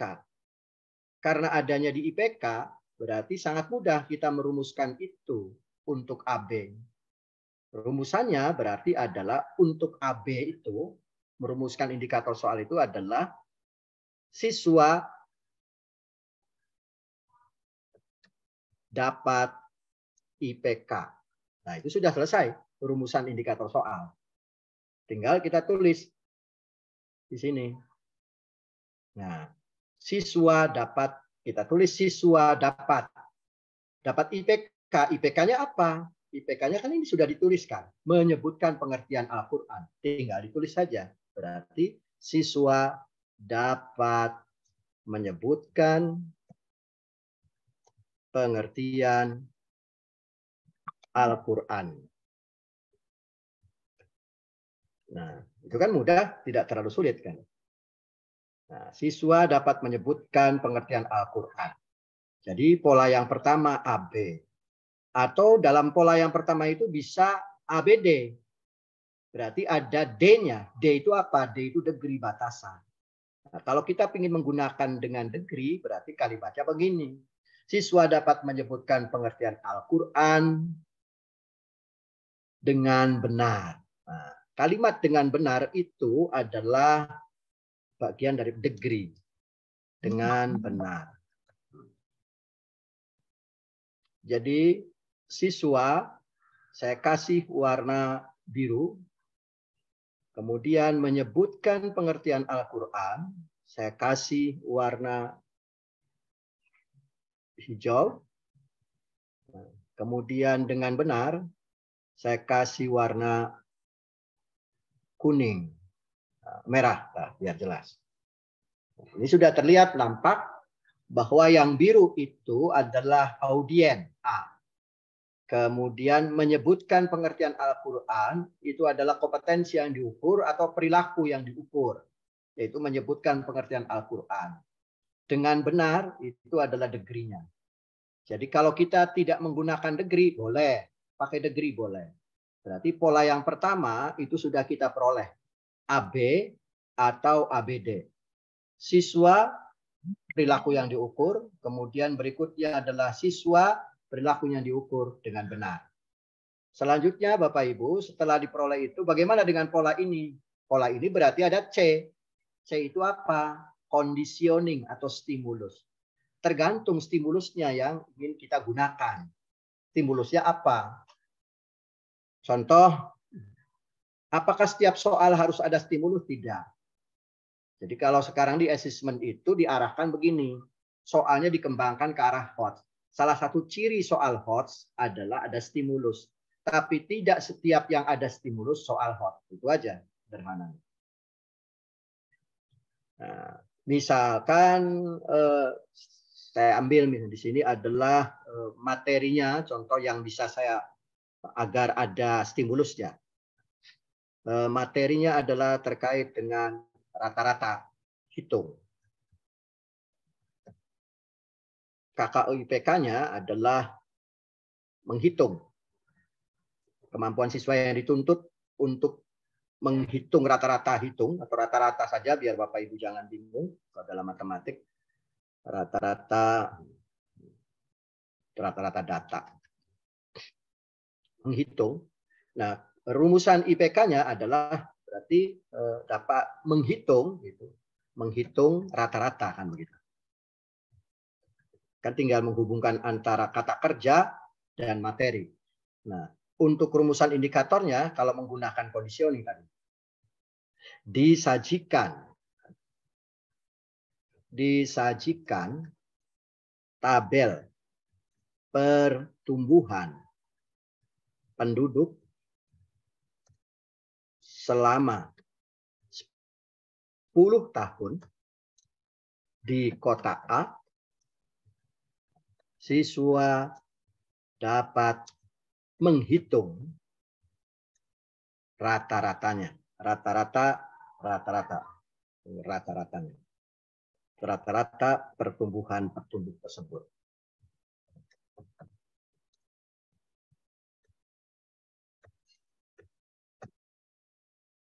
Nah, kalau kita perhatikan dari kalimat ini, kan polanya tadi disebutkan CAB. Jadi tinggal ditambah C saja di depannya. C itu apa? Stimulus. Nah, stimulusnya mana? Stimulusnya ini disajikan tabel pertumbuhan penduduk selama 10 tahun di kota A. Nah, nah ini stimulusnya. ke sininya sama polanya dengan ini.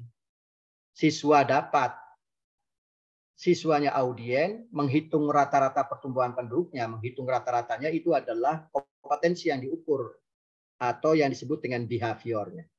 Bagaimana kalau misalkan ditambah dengan negeri? Ya tinggal kita tulis saja dengan benar begitu. Atau dengan tepat dengan benar atau jadi menggunakan degree pun sama harus punya ukuran. Tidak boleh kita menggunakan kata degree itu misalkan disajikan tabel pertumbuhan penduduk selama 10 tahun di kota A siswa dapat menghitung rata-rata pertumbuhan penduduk tersebut dengan indah nah itu kan berarti degree-nya tidak punya ukuran kalau indah itu kan perspektifnya berbeda. Bisa punya makna yang berbeda dan tergantung. Nah, itu selesai LK2. Jadi nanti tinggal dilanjutkan ke banyak-banyaknya yang kita dapatkan. Lanjut ke LK terakhir. LK yang ketiga.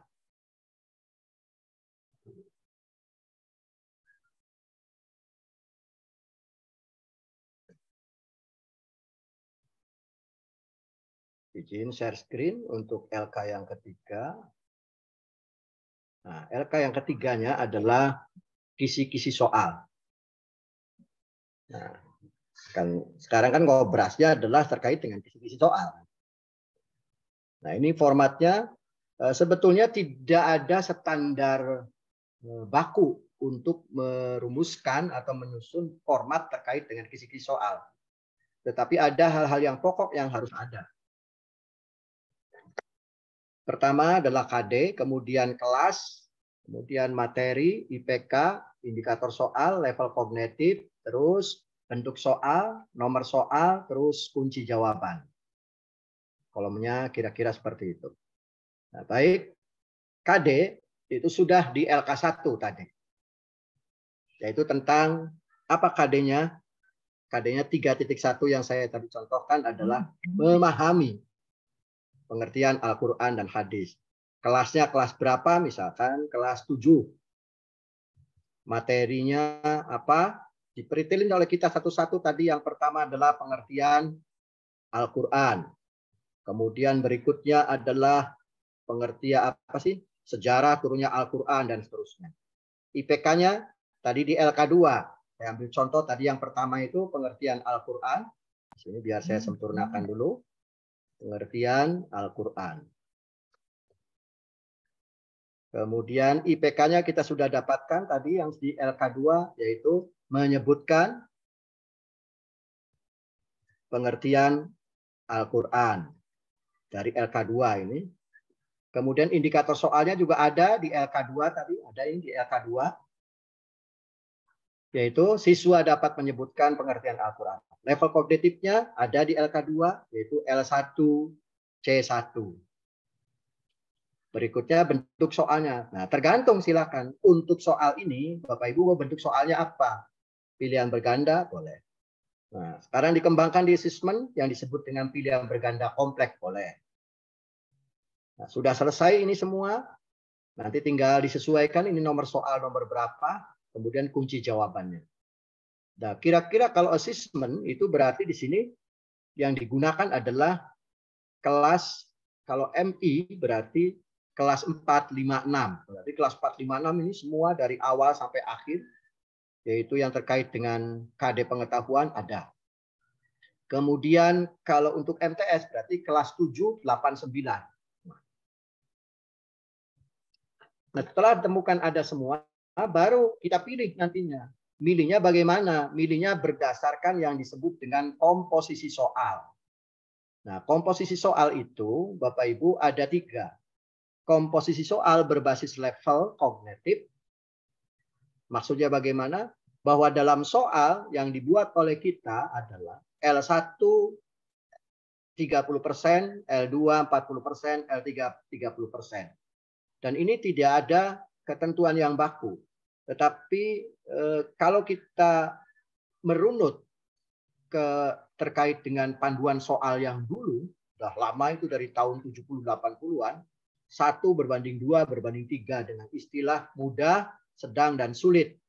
Nah, sekarang kita tidak lagi menggunakan istilah itu, tapi L1, L2, L3. Tadi sudah saya jelaskan. Nah, maka porsi L2-nya, L3-nya ini ditambah. Jadi 30 persen, 40 persen, 30 persen. Ini bukan sesuatu yang baku.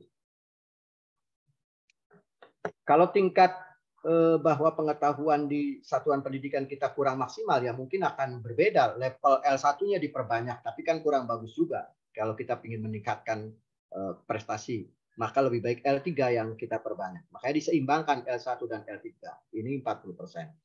Jadi kalau jumlah soalnya 20 kali 30% berarti 6. Ini kali 40% berarti 8, 6 jumlah 20.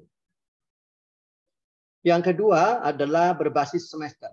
Saya ulangi dulu yang terkait dengan berbasis level kognitif itu adalah eh, digunakan untuk soal penilaian harian ini berbasis level kognitif itu bisa digunakan untuk penilaian harian, penilaian tengah semester, PAS, PAT, UM atau AM. Jadi semua jenis penilaian atau semua jenis assessment, assessment yang penilaian itu sama bahasa. Menggunakan lab, berbasis level kognitif. Berikutnya adalah komposisi soal berbasis semester. Nah, kalau komposisi soal berbasis semester itu hanya digunakan untuk PAT. Kalau kita PAT semester ganjil ambil komposisinya 30%, semester genap 70%. Misalkan kita ambil soal 40, berarti jumlah soal yang dari semester ganjil 12, soal dari semester genap 28, eh, jadi jumlahnya 40.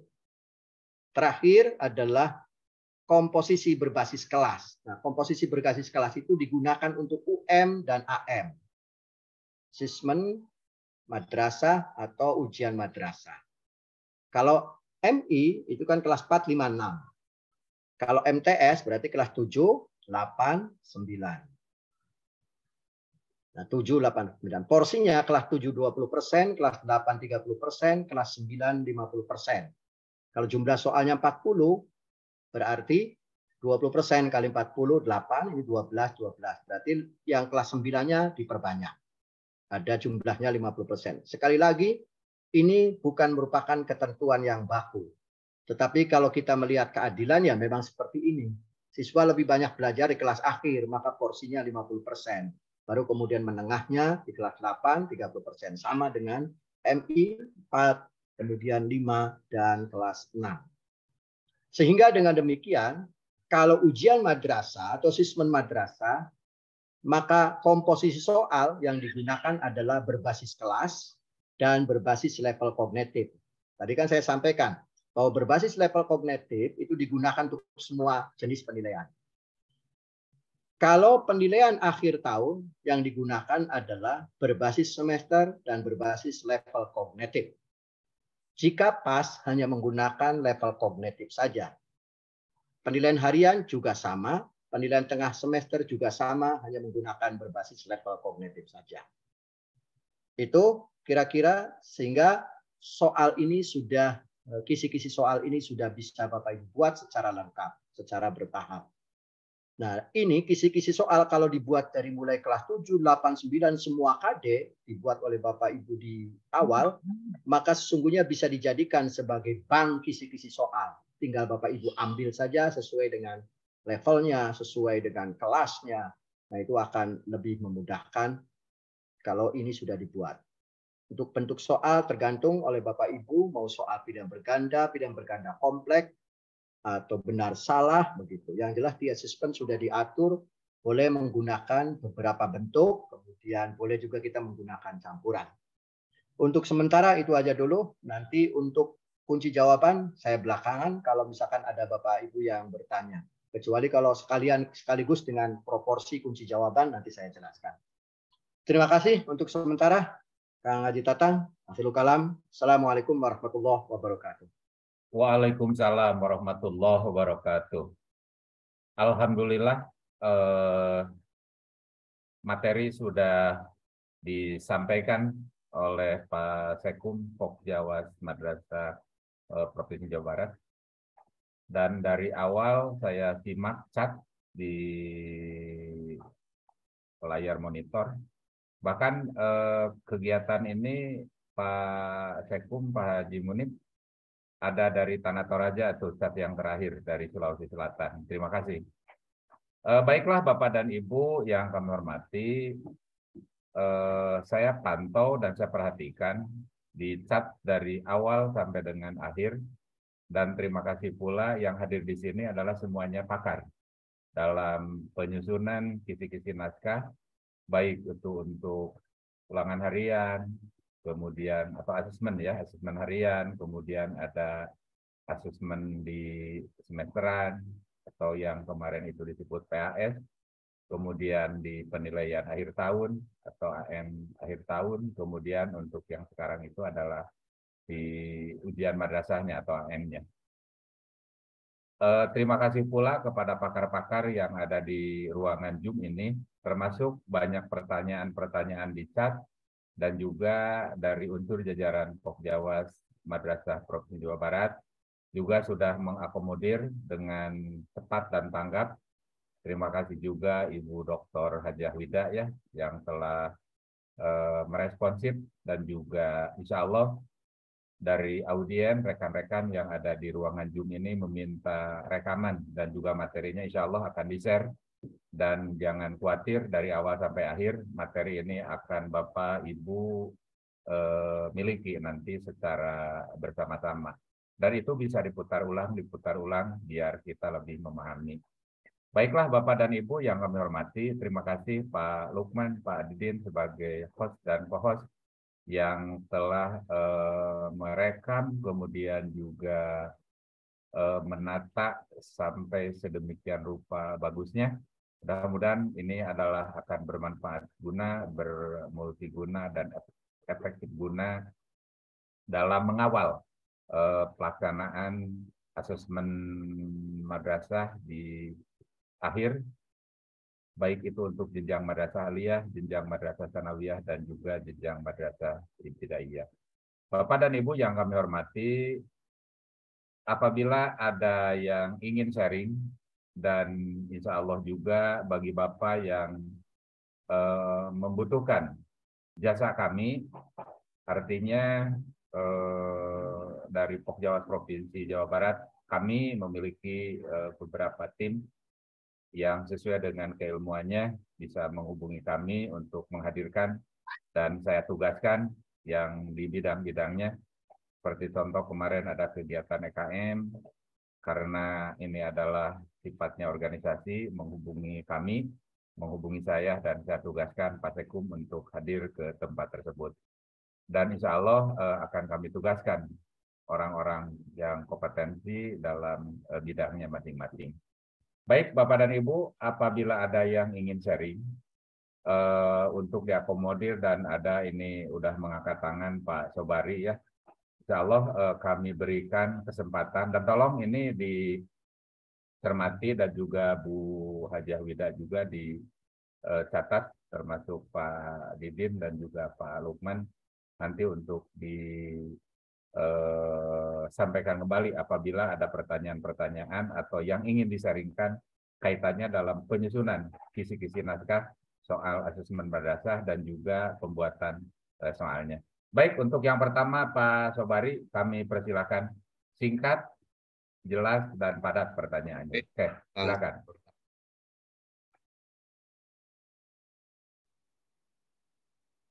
Dibuka, Sobari. Dibuka itunya. Dibuka mikrofonnya. Sebutkan dari mana dan e, dari jenjang apa. Dek. Dek. Pak Sobari sudah dibuka, silakan buka. Langsung bicara, Pak. Pak Sobari silakan bertanya langsung ke narasumber. Pak Sobari. Pak Sobari silakan. Kumaha yang ngomongnya deh? Langsung aja Pak, yang... suaranya kita terdengar Pak. Sudah masuk Pak, silakan langsung bertanya Pak. Halo, Assalamualaikum. Waalaikumsalam. Silakan. Silakan langsung bertanya ke Salam, enggak Pak Sobari. Ini dengan Pak Sobari dari Surade, Kecamatan Surade, Kabupaten Sukabumi, Jawa Barat, Pak. Boleh, silakan. Ya, silakan. Dari unsur kepala atau guru? Uh, Atau unsur kepala. Oke, silakan. Sebetulnya saya sedikit kurang menyimak, menyimak, menyimak ini mengingat ini mengingat, eh, karena tidak jelas itu karena tidak tertayang itunya gitu. Biar nanti diulang lagi mungkin Pak bisa ya. Ya nanti Bapak nonton rekamannya aja Pak.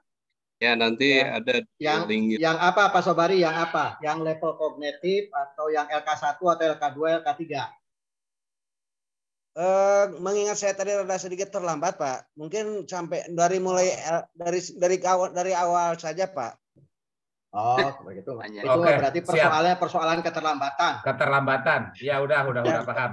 Insya Allah Terima- nanti, insya, insya Allah Pak Sobari nanti eh, melalui Pokjawas Kabupaten Sukabumi Bapak akan menerima dan juga eh, akan disampaikan oleh eh, pengawas pembina rekaman dan materi seluruhnya dari awal sampai akhir sehingga Bapak Pak. bisa bisa bisa menyimaknya ya. Oke, Terima kasih, cukup, terima Pak, kasih. Pak Sobari. Ya, kami sama-sama Pak. Assalamualaikum Oke. warahmatullahi wabarakatuh. Waalaikumsalam warahmatullahi wabarakatuh. Ah.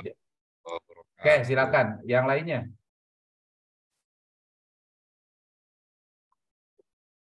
Pak Didin dipantau, Pak Lukman. Ada Bu Hajah Widayanti, barangkali mau bertanya atau menambahkan, silahkan. Yang di kolom chat banyak Pak Tang, yang di kolom chat aja bacakan. Saya udah share juga di di WA itu saya bantu Bapak untuk bacakan aja. Assalamualaikum. Waalaikumsalam warahmatullahi wabarakatuh. Saya diizinkan bicara, Pak Waka. Boleh, silakan, silakan. Silakan. Terima Silakan, kasih. Pak Dr. Munif. Paparannya begitu jelas dan memberikan pencerahan untuk saya. Eh, saya ada sedikit perta- pertanyaan menggelitik Pak Dr. Munif terkait dengan Permendikbudristek nomor 21 tahun 2022. Walaupun sebenarnya eh, di sana itu tidak eksplisit maupun impli- implisit dinyatakan eh, masih adanya ujian sekolah. Kalau kita berarti ujian madrasah ya. Nah, eh, sebenarnya dasar kita masih asesmen madrasah itu eh, di mana gitu ya kalau terkait dengan Permendikbud 21 2022 itu. Dan kemudian eh, pada SOPAM itu di paparan akhirnya itu disebutkan bahwa masih menggunakan Permendikbud nomor 43 tahun 2019 bahwa syarat kelulusan itu tiga yaitu satu lulus semua jenjang, kedua bersikap baik dan ketiga lulus ujian eh, madrasah atau ujian sekolah. Padahal dengan adanya Permendikbud Ristek 21 2022 itu itu mencabut si Permendikbud 43 2019 itu. Itu Pak Dr. Munif, mohon pencerahannya. Terima kasih. Oke, silakan Pak. Langsung saja, langsung saja. Kang Haji Ya. Munif. Ya, siap. Terima kasih. Bu Wida. Pertama bahwa Permendikbud ya, yang terkait kurikulum 2013 dari 20, 21, 22, 23 itu sudah dicabut semua dengan Permendikbud Ristek yang terbaru dari model nomor 5, kemudian 7, kemudian nomor 16 dan terakhir adalah nomor 21 yang terkait dengan standar kompetensi lulusan dan seterusnya. Itu yang pertama. Yang kedua adalah berarti di Kemendikbud itu tidak boleh lagi merujuk kepada kurikulum 2013 karena sudah dicabut itu. Kalau secara undang-undang tidak boleh digunakan. Tetapi realnya di sekolah itu masih menggunakan kurikulum yang lama. Walaupun Permendikbud 37-nya tidak dicabut. Nah, bedanya Kementerian Agama itu eh, dia tidak mencabut yang terkait dengan KMA 183 tidak dicabut, kemudian SK Dirjen dari mulai eh, 5161, 5162, 5163, 5164 itu tidak dicabut.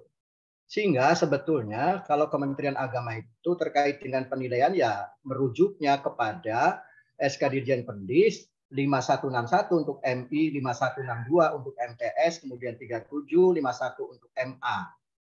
Namun di situ tidak tertulis terkait dengan istilah assessment. Tetapi adanya ujian madrasah gitu. Mulai munculnya assessment itu kan karena dari dari Permendikbud itu. Nah, oleh karenanya eh, menurut saya adalah juknis yang paling tepat kita mestinya di Kementerian Agama itu masih menggunakan juknis 5161, 5162 atau 3751. Jadi kalau menggunakan istilah assessment ya nggak apa-apa lah begitu itu kan persoalan masalah kebijakan. Jadi mestinya pedomannya di situ jangan pedoman assessment tapi pedomannya adalah Kalau ingin menggunakan pedomannya asesmen, cabut dulu 5161, 5162, 3751-nya. Kira-kira seperti itu, karena mengandung kebijakan, jadi akhirnya mengandung kebajikan dan kebijaksanaan. Terima kasih, Bu Wida. Oke, oke, terima kasih. Ini dari Pak Solehudin Indramayu. Mohon pencerahan kaitan dengan IPK yang tercantum di kisi-kisi asesmen madrasah dengan indikator soal yang akan dibuat menjadi soal. Apakah itu dua jenis indikator yang sama atau dua jenis indikator yang berbeda? Terima kasih. Mohon penjelasannya Pak Sekum bila kata kerja KD level C 4 boleh tidak? Kata kerja indikator soalnya lebih eh, rendah, misalnya C1. Makasih. Itu silakan ditanggapi aja dulu Pak Kang Haji Munib. Ya, uh, yang pertama dulu di post assessment madrasah itu untuk mata pelajaran agama dan bahasa Arab kisi-kisinya memang sudah disiapkan oleh Kementerian Agama. Tetapi sekali lagi bahwa kisi-kisi dari Kementerian Agama itu bisa oleh kita dielaborasi, dieksplorasi lebih luas begitu. Jadi ya. tidak mesti harus baku. Itu mah hanya sekedar untuk memudahkan. Bapak Ibu mau menggunakan itu 100% yang untuk mata pelajaran agama dan bahasa Arab, enggak. Tinggal dikembangkan saja. Bagaimana proses pengembangannya? Ya pengembangannya eh, kita ingin membuat kisi-kisi yang lebih komprehensif, kemudian dibuatkan soal yang soalnya memang tidak ada di situ, soalnya dibuat sendiri kecuali kalau mata pelajaran umum itu kisi-kisinya dibuat oleh sendiri. Yang membuat tetap adalah eh, guru madrasah. Karena ketika ujian kemudian PAT itu tanggung jawab madrasah. Tapi ada madrasah makan lembaga tidak akan bisa membuat soal yang membuat soal kene eh guru begitu tetap. Kemudian yang kedua, jika indikator soalnya adalah C4, ya tidak boleh soalnya C1. Masa indikator soalnya mengukur kemampuan analisis, tapi soalnya kemudian mengukur level C1 yaitu yang terkait dengan eh, apa sih yang terkait dengan mengetahui yang eh, mengingat begitu. Jadi sepadan antara indikator soal. Indikator soal itu menandakan bahwa kompetensi yang hendak diukur oleh siswa itu pada aspek apa, level kognitifnya apa, materinya apa. Sehingga hmm. soalnya juga harus mengukur itu. Saya ambil contoh begini, misalkan indikator soalnya disajikan eh, terkait dengan soal cerita tentang eh, puisi eh, tentang soal cerita, kemudian siswa dapat eh, menyebutkan apa. Kemudian ternyata eh, bahwa soalnya adalah tidak mengukur terhadap indikator tadi. Contoh yang lebih spesifiknya begini eh, siswa dapat menjelaskan pengertian sholat menurut istilah. Itu kan C1. Kemudian kita membuat soalnya. Coba bedakan antara pengertian sholat menurut bahasa dan menurut istilah. Nah itu kan soalnya tidak nyambung. Nah ketika antara soal itu tidak sesuai dengan indikator soal, itu disebutnya adalah tidak valid. Dalam istilah teknik evaluasi itu. Jadi validitas itu atau kesahihan itu adalah ketepatan alat ukur dengan sesuatu yang diukur. Nah, alat ukurnya apa? Instrumen atau soal. Kemudian yang diukurnya apa? Yang diukurnya adalah uh, indikator soal. Itu kira-kira. Makasih. Oke, terima kasih. Ini dari chat kita bacakan aja dulu satu persatu. Terima kasih itu atas tanggapannya. Apakah ada ketentuan jumlah atau porsi dari masing-masing level keterampilan berpikir dalam instrumen AM untuk setiap jenjang madrasah? Ini datang dari Pak Ripahi. Ulangi, apakah ada ketentuan jumlah atau porsi dari masing-masing level keterampilan berpikir dalam instrumen AM untuk setiap jenjang madrasah? Oke, silakan. Ya, makasih. Kan tadi saya sudah menjelaskan, ini ketentuan bukan ketentuan baku. Tetapi eh, dalam rangka mengadopsi yang dulu sering kita gunakan pada tahun 70-an, 80-an itu soal itu kita menggunakan kalau membuat soal itu adalah uh, sulit, kemudian sedang, kemudian mudah. Dengan formasinya kan begini, uh, satu berbanding dua, berbanding tiga begitu. Nah karena kita sudah mengarah kepada pembelajaran abad 21, maka porsi yang sulit dalam perspektif eh, karakter solat, eh, soal ya berdasarkan perspektif individu kita alihkan menjadi level 3. Nah, level 3 kita naikkan. Kenapa kita naikkan tidak menjadi 10% begitu, menjadi 30%? Karena orientasi kita adalah pembelajaran abad 21. Salah satu ciri pembelajaran abad 21 itu yang kemarin saya, yang tadi sudah saya sampaikan adalah harus hot gitu. Nah, hot itu sendiri dalam Anderson dan Crackwell itu masuk pada uh, di puspendiknya adalah level 3 yaitu uh, menganalisis, kemudian mengevaluasi dan mengkreasi. Sehingga diarahkan untuk siswa lebih banyak uh, ditumbuh kembangkan kepada pertanyaan-pertanyaan untuk keterampilan berpikir tingkat tinggi. Dengan model seperti ini, porsi yang lebih banyak diharapkan ketika siswa sudah lulus, kalau dia mengalami suatu persoalan karena sudah terbiasa dengan hal-hal yang bersifat hot, keterampilan berpikir tingkat tinggi akan memudahkan dalam menyelesaikan masalah kehidupan. Kira-kira seperti itu ujung ujungnya. Terima kasih. Oke, itu Pak Ripai tanggapannya. Kemudian ini datang dari Bu Sundusia. Kebetulan beliau terlambat bergabung, maka ada kaitannya dengan penggabungan antara L dan C. Apakah untuk soal asesmen madrasah atau AM itu harus memakai stimulus? Itu pertanyaannya. Oke, terima kasih. Uh, soal stimulus, sti, uh, kalau kita pingin uh, soal stimulus itu tidak berarti bahwa setiap indikator soal wajib pada stimulus.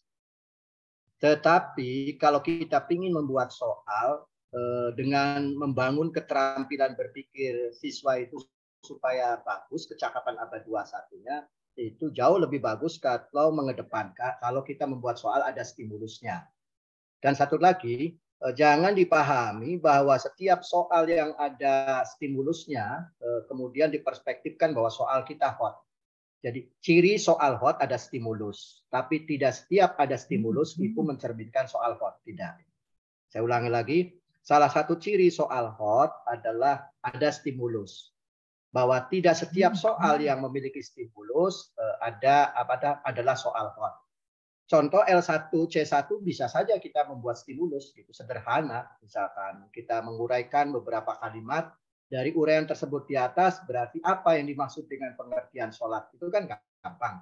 Jadi eh, siswa kemampuan menyebutkan pengertian sholat dari sebuah stimulus yang kita buat dalam bentuk cerita. Nah, salah satu syarat stimulus yang baik itu kalau saya eh, cenderung melihat dari beberapa literasi hanya ada tiga, yaitu pertama konteks, yang kedua konten, yang ketiga adalah level. Nah, nanti bagaimana cara merumuskan stimulus kita nanti pada kesempatan lain untuk berbicara kembali terkait dengan stimulus soal. Silakan bisa lanjut. Oke, terima kasih. Kemudian ini datang dari Pak Asep Saiful Milah. Punten izin bertanya Pak Dokter, apabila menelaah kata kerja operasional dari beberapa level kognitif, terdapat kata operasional yang sama. Contoh, kata membandingkan ada pada C2, C4, dan C5. Kata menguraikan ada pada C2 dan C4. Kata memilih ada pada C1 dan C4. Bagaimana cara untuk menentukan benang merah atau perbedaan dari kata-kata operasional tersebut? Yang kedua, kata kerja operasional pada kalimat menerapkan atau C3 pada level kognitif menerapkan C3. Terdapat kata operasional melakukan, menjalankan, mengoperasikan, bagaimana kata-kata kerja tersebut dikategorikan pada dimensi berpikir untuk pengetahuan tidak pada dimensi keterampilan. Itu mungkin Kang Haji Munib.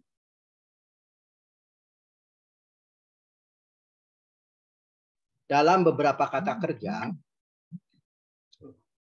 dalam beberapa kata kerja atau KKO saya singkat, KKO, terkadang kita menemukan kata kerja yang sama tapi pada level yang berbeda.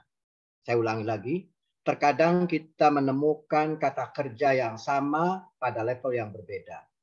Maka di situlah guru harus memahami terkait dengan kompetensi dan konten yang hendak diukurnya. Kalau misalkan kompetensi dan konten yang hendak diukurnya setelah kita pahami dari menganalisis kompetensi dasar itu secara utuh, pada wilayahnya hanya sekedar misalkan C2, maka bisa kita menggunakan yang C2. Tetapi kalau kemudian pada rumusan konten dan kompetensinya lebih pada aspek yang rumit, kita bisa naikkan. Mungkin yang dimaksud dengan kata membandingkannya lebih tinggi kompleksitasnya. Saya ambil contoh begini. Eh, jelaskan perbedaan pada aspek tertentu yang terkait dengan misalkan A dan B. Nah itu kan masih kategorinya adalah levelnya eh, tidak maksimal, bukan masuk pada wilayah C5 mengevaluasi.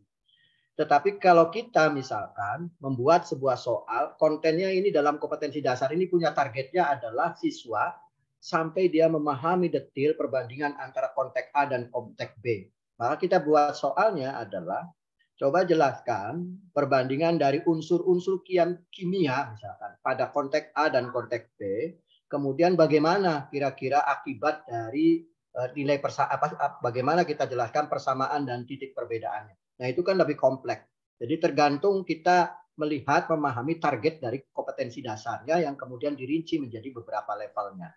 Itu yang pertama. Dan itu memang keahlian guru ketika dia memahami betul terkait dengan konten kompetensi dasarnya. Kalau dia tidak memahami konten kompetensi dasarnya secara utuh, yang dimaksudkan menjadi targetnya, maka akan sulit.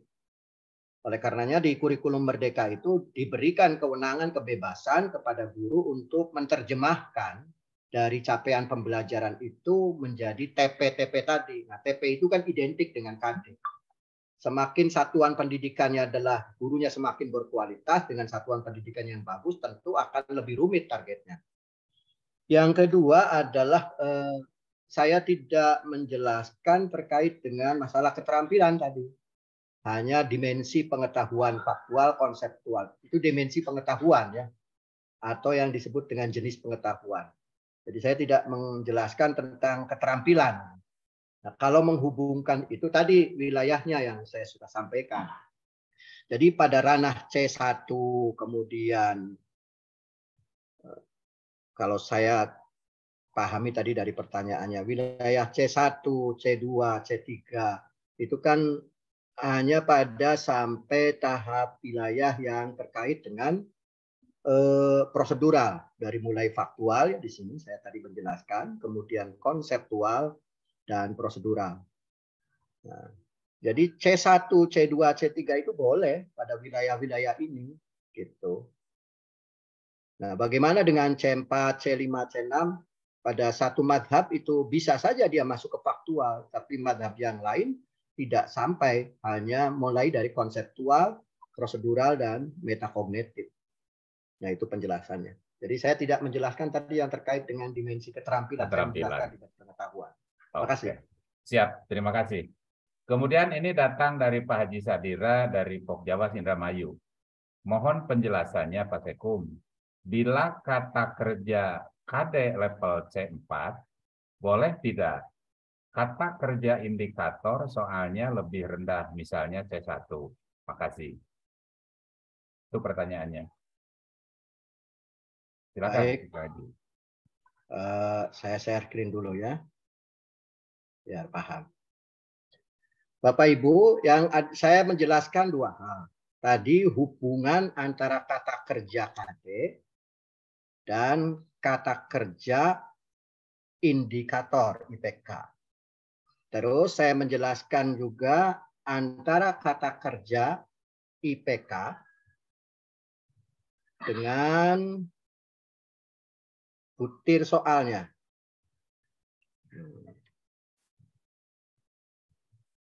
Kalau butir soal sudah clear ya. Setiap kata kerja IPK itu nanti diukur dengan butir soal. Dengan demikian bahwa butir soal yang dibuat itu harus mengukur kata kerja IPK. Artinya tidak boleh butir soal itu level C4, tapi kemudian kata kerja untuk IPK-nya adalah C1, kan jadi tidak nyambung. Nah, kalau ini berbeda. Kalau ini yang tadi saya jelaskan, bahwa pendapat pertama ada yang memahami bahwa KD itu, kata kerja dalam KD adalah target minimal. Kalau target minimal, maka secara otomatis ketika merumuskan kata kerja IPK, maka harus di atasnya. Karena itu minimal. Misalkan kata kerja KD-nya adalah eh, C3. Maka di sini kita merumuskannya adalah dari mulai C3. Karena targetnya minimal kan. Kemudian kita teruskan dengan C4, terus lanjut menjadi C5. Nah, kalau madhabnya adalah bahwa kata kerja dalam kompetensi dasar itu bukan target minimal, tapi target maksimal, maka ketika kata kerja kompetensi dasarnya itu adalah C4, dalam kata kerja IPK-nya yang kita rumuskan adalah C1, C2, kemudian C3, sampai C4. Kalau madhabnya adalah bahwa kata kerja pada kompetensi dasar itu sebagai target maksimal. Tapi kalau dipahami target minimal, maka dirumuskannya adalah C3, C4, C5. Tergantung Bapak Ibu menggunakan madhab apa. Kalau saya menyarankan adalah kata kerja kompetensi dasar itu diambil dari dua buah aspek saja. Artinya apa? Ketika muncul kata kerjanya C4, maka kita ambil C1, C2, C3, C4. Mau ditambahkan C5 boleh. Atau misalkan kita menemukan kata kerja kompetensi dasar hanya sampai C3. C3 itu kan levelnya adalah L2. Sementara dalam pembelajaran abad 21 itu diarahkan supaya ke HOTS. HOTS itu levelnya adalah level 3. Nah, kalau kita menuliskan kan seharusnya begini. C1, C2, kemudian C3 targetnya. Tidak, kalau dijadikan ini sebagai target maksimal, berarti C2 paling maksimal C3. Karena pembelajaran kita abad 21 lengkapi dong dengan hostnya. Bisa dengan C4-nya di sini. Nah, gitu. Salah satu saja nggak C4 C5. Pak dipaksakan tidak bisa. Sebetulnya bisa-bisa saja sih kalau orang sudah terbiasa membuat stimulus. Kecuali kalau membuat stimulus. Kalau mau stimulus mah bisa-bisa saja. Nah, kira-kira kalau tidak bisa ya sudah jangan dipaksakan begitu aja. Makasih. Oke, terima kasih. Uh, ini masih banyak sebetulnya di di di chat. Uh, Kang Haji tolong dicermati satu persatu. Mungkin apabila ada yang sama, apabila ada yang sama, tolong di ini saja, di langsung ditanggapi oleh eh, Mas. Oke, terima kasih. Maaf ada telepon dulu. Ya, belum salah. Oh iya, siap, siap, siap. Oke, oke, oke, oke. Siap. Oke, oke, oke. Ya, yo, yo, yo, siap. Nah, siap. Salah. Oke, Bapak dan Ibu, silahkan. Uh, ini di chat nanti akan dijawab satu persatu mungkin, uh, karena tidak akan ter. Ini Kak Haji Tatang, ada. Oke, silakan. Ada yang menafsirkan ini sebentar, menafsirkan pos UM ya. yang ada tafsirannya begini. Sebentar, uh, pengantar pos pos AM dulu ya, saya buka.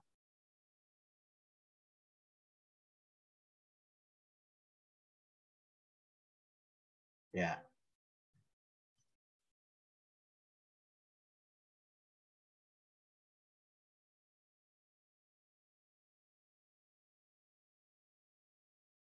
Ya, baik. Saya ingin menanggapi chat yang panjang ini dari Ibu Kiki. Iya, Bu Kiki paling akhir. Uh, penjelasannya adalah bahwa komposisi soal AM itu untuk MI 456, untuk MTS 7 sampai kelas 9, MA 10 12. Sedangkan di pos AM bahwa yang diujikan itu adalah mapel yang diajarkan kelas 6, 9 dan 12. Ini penjelasannya. Ya, paham. Saya share screen dulu. Nah, ini mungkin yang dimaksud oleh pertanyaan Ibu Kiki. Bu Kiki kalimatnya bisa dipahami. Mata pelajaran yang diujikan dalam AM meliputi seluruh mata pelajaran yang diajarkan pada kelas 6 MI, kelas 9 MTS, kelas 12 MI. Konteksnya di sini poinnya adalah mata pelajaran, bukan kelas ya. Yeah. Mata pelajaran. Artinya bahwa mata pelajaran yang diajarkan di kelas 6 dan di kelas 9 dan di kelas 12. Kalau mata pelajaran di kelas 6 ternyata bahasa Inggris tidak ada, maka tidak diujikan. Kalau mata pelajaran di kelas 6 itu ada bahasa Indonesia, berarti dia diujikan. Diujikannya di mana? Ya dari mulai kelas 4, 5, dan 6. MTS juga sama di MTS misalkan pada saat kelas 9 terdapat mata pelajaran eh, akidah akhlak, maka diujikan dari mulai kelas 7, 8, 9. Ternyata di kelas 9 tidak ada mata pelajaran informatika, maka tidak diujikan. Jadi maksudnya mata pelajaran yang diujikan itu yang ada di kelas 9. Jadi ini tidak mengatur tentang mata pelajaran di tidak mengatur tentang distribusi kelas tadi. Itu kira-kira. Mata pelajaran yang diujikan dalam AM meliputi seluruh mata pelajaran yang diajarkan di kelas 6. Kalau tidak diajarkan pada saat kelas 6, jangan diujikan. Tetapi kalau diajarkan, diujikan. Berarti ngambil bukan terkait dengan mengambil soalnya ya, bukan distribusi soal, tapi terkait dengan mata pelajaran. Itu kira-kira. Bedakan. Terima kasih. Oke. Terima kasih atas penjelasannya Pak Sekum. Ini saya mohon bertanya Pak Didin dan Pak Lukman, kita punya deadline waktu sampai jam berapa? Jam 10 sih, tapi boleh aja sampai tamat aja nggak apa-apa. Oke, jam 10 siap. udah habis oh iya iya iya ya. Terima kasih eh, bagaimana Bapak dan Ibu masih ada? Saya sangat salut tadi ini sampai yang bergabung 400 lebih tadi, 428. Ya, dari Lampung juga ada Pak. Lampung. Ya, dari Lampung, Jawa. dari luar Jawa juga ada alhamdulillah berpartisipasi juga dalam kegiatan ini.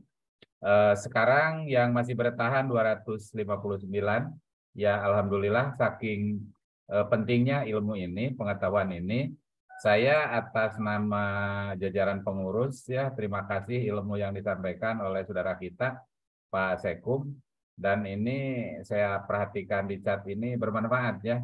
Mungkin terima kasih juga Kang Didin, Kang Lukman untuk rekamannya, materinya. Nanti eh, kita share di semua grup biar yang tidak ikut ataupun yang terlambat eh, ikut Zoom ini bisa menyimak dan berulang kali mendengarkannya. Mungkin Bapak dan Ibu karena memang batasan kita terpisah oleh terhalang dan terjeda oleh waktu dan sekarang sudah menunjukkan jam 10 lewat 10 menit. Mungkin kalau pertanyaan sih sangat banyak sih kalau ini dibacakan satu persatu dan ini tidak bakalan selesai sampai dengan jam 12 ya. Insya Allah simak saja materinya nanti eh, di rekaman di YouTube-nya eh, tentang eh, kegiatan ini. Mungkin eh, ada yang untuk disampaikan untuk terakhir kali mungkin Kang Haji Munir. Closing. Ya, untuk closing. Ya. Closing statement. Closing statement Pak. Pak Ibu, eh, terakhir saja saya pesan terkait dengan uh, proporsi nanti proporsi kunci jawaban. Kalau sudah dibuat kisi-kisinya, baru dibuat proporsi kunci jawabannya. Uh, terkait dengan membuat proporsi kunci jawaban itu uh, ada rumusnya. Kan kalau tadi di kisi-kisi itu sudah saya sampaikan, kalau di kisi-kisi berapa jumlah soal dan bagaimana cara pengaturan jumlah soal itu diaturnya di komposisi. Kalau bagaimana kita membuat kunci jawaban A, B, C, D-nya itu diaturnya namanya proporsi.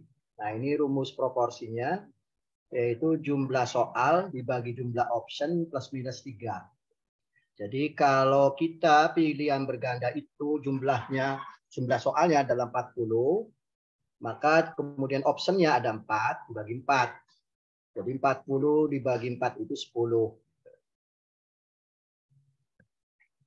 Nah, 10 dan plus minus 3. 10 ditambah 3 eh, jadi 13, kemudian 10 kurangi 3, 7. Nah, sehingga mengatur kunci jawabannya itu adalah maksimal, ini kan disebut nilai maksimal, ini nilai minimal ininya 13 kemudian misalkan di B kita cari yang minimal di mana maunya. Mau di D boleh.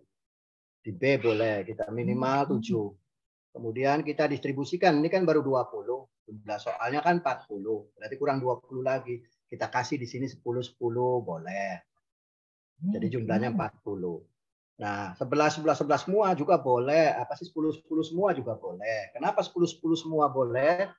Kuncinya karena tidak menyalahi aturan kan minimal 7 maksimal 13 kecuali kalau kita ingin membuat ini 13 nilai maksimal 7 kemudian di sini kita tulis 14 kemudian di sini kita tulis 6 nah yang ini menyalahi aturan.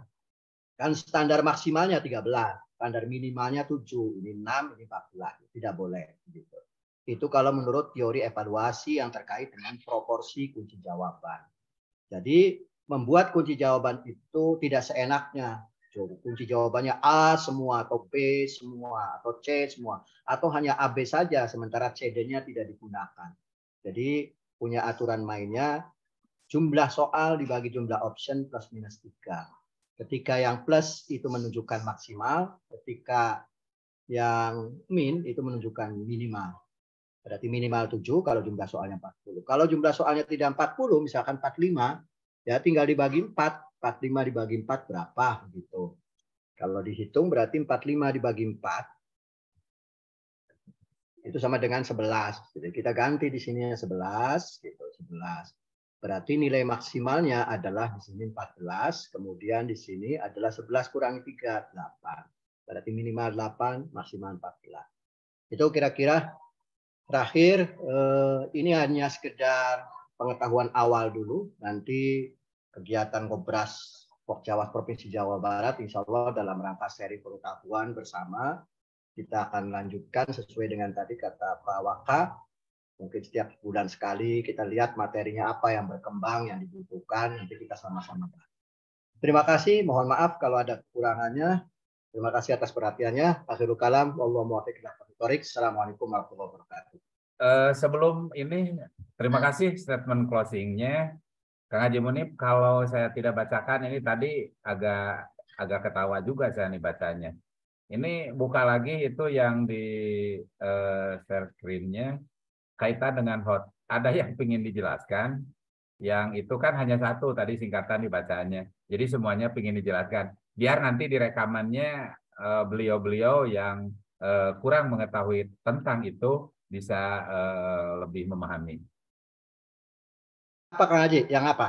Tentang hot. Oh, tentang hot. Ya. Uh, kan ini ya. di, di atas sekali ini dari siapa tadi lupa lagi. Oh, Cuman gitu. saya pernah baca. Okay, dia baik. dia nanya ingin dijelaskan kembali katanya. Oke. Okay. Dia uh, taksonomi Bloom Anders uh, yang belum itu direvisi oleh Kravel dan Anderson.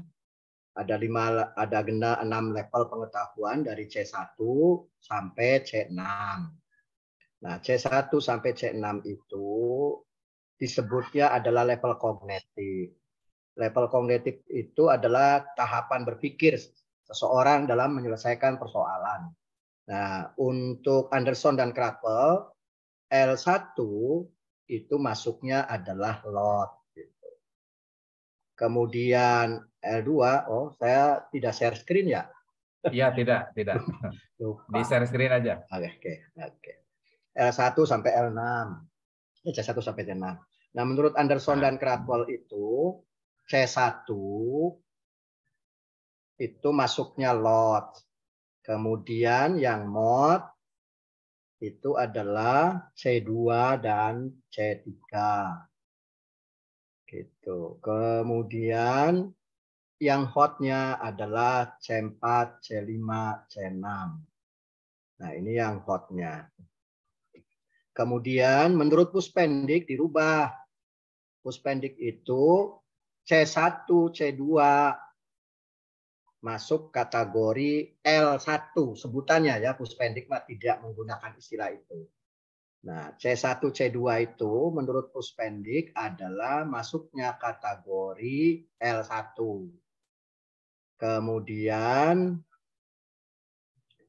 C2-nya adalah eh, C3-nya masuknya kategori L2. Sedangkan C3 L3-nya itu sama. Nah, sama dengan Anderson dan Kraftwell ini. Itu yang terkait dengan lots, mods, dan hot. Sebutan dari Anderson dan Kraftwell. L1, L2, L3 sebutan dari Puspendik tahun 2015. Itu kira-kira kalau Oke. L1. Itu. Oke, terima kasih Kang Haji atas statement closing-nya dan juga kesimpulan dan pertanyaan-pertanyaan. Ini mohon maaf sekali Bapak dan Ibu baik dari unsur jajaran Pokjawas Provinsi Jawa Barat, kemudian dari jajaran Ketua Pokjawas Kabupaten Kota Provinsi Jawa Barat, Bapak dan Ibu Kepala Madrasah, baik jenjang aliyah, madrasah sanawiyah, dan juga madrasah ibtidaiyah. Apabila ini tidak terakomodir semuanya, dan ini adalah merupakan awal, awal dari pertemuan kita kaitannya dengan eh, ilmu-ilmu yang insya Allah sudah disampaikan, walaupun ini baru sebagian kecil ya yang diterima oleh kita semuanya. Dan apabila ingin mendetil lebih dalam, lebih rinci lagi, insya Allah bisa menghubungi kami dan insya Allah akan kami tugaskan eh, yang berkompeten untuk eh, menuju ke daerah Bapak dan Ibu sekalian. Itu saja mungkin. Terima kasih Pak Lukman, kemudian Pak Didin yang telah memfasilitasi kita kaitannya dengan ngobras pada malam hari ini. Walaupun eh, di tengah-tengah weekend kita ini dipakai untuk eh, kegiatan yang bermakna buat kita semuanya. Sekali lagi kami ucapkan terima kasih kepada semua pihak. Kami atas nama jajaran pengu- pengurus Pokjawas Madrasah Provinsi Jawa Barat atas segala atensi, atas segala perhatian, Bapak dan Ibu sampai dengan detik ini masih bertahan 218 orang dan sudah banyak yang minta izin kepada kita, kepada kami, kepada saya untuk mohon izin live. Terima kasih sekali lagi eh, kita berikan aplaus untuk Pak Sekum yang telah eh, menularkan ilmunya kepada kita sekalian. Terima kasih. Baiklah Bapak dan Ibu, eh, kita tutup dengan membacakan hamdalah bersama-sama. Kita akhiri tadi dibuka dengan membacakan ayat suci Al-Quran. Kita tutup sekarang dengan membacakan hamdalah bersama-sama dan kita berdoa kepada Allah Subhanahu wa taala ilmu yang telah kita dapat ini bermanfaat guna, berefektif guna dan eh, berdaya guna buat kita semuanya. Amin. Amin ya Allah ya rabbal alamin. Alhamdulillahirabbil alamin. Kita tutup dengan doa Alhamdulillah minasyaitonirrajim. Bismillahirrahmanirrahim. Subhanaka Allahumma rabbana wa bihamdika asyhadu an la ilaha illa anta astaghfiruka wa atubu ilaik. Rabbana la tuzigh qulubana ba'da idh hadaitana wa hab lana min ladunka rahmah. Rabbana innaka antal wahhab. Rabbana hab lana min azwajina wa dzurriyyatina qurrata a'yun waj'alna waj'alna lil muttaqina imama. Subhana rabbika rabbil izzati amma yasifun. Wassalamu alal mursalin walhamdulillahi rabbil alamin.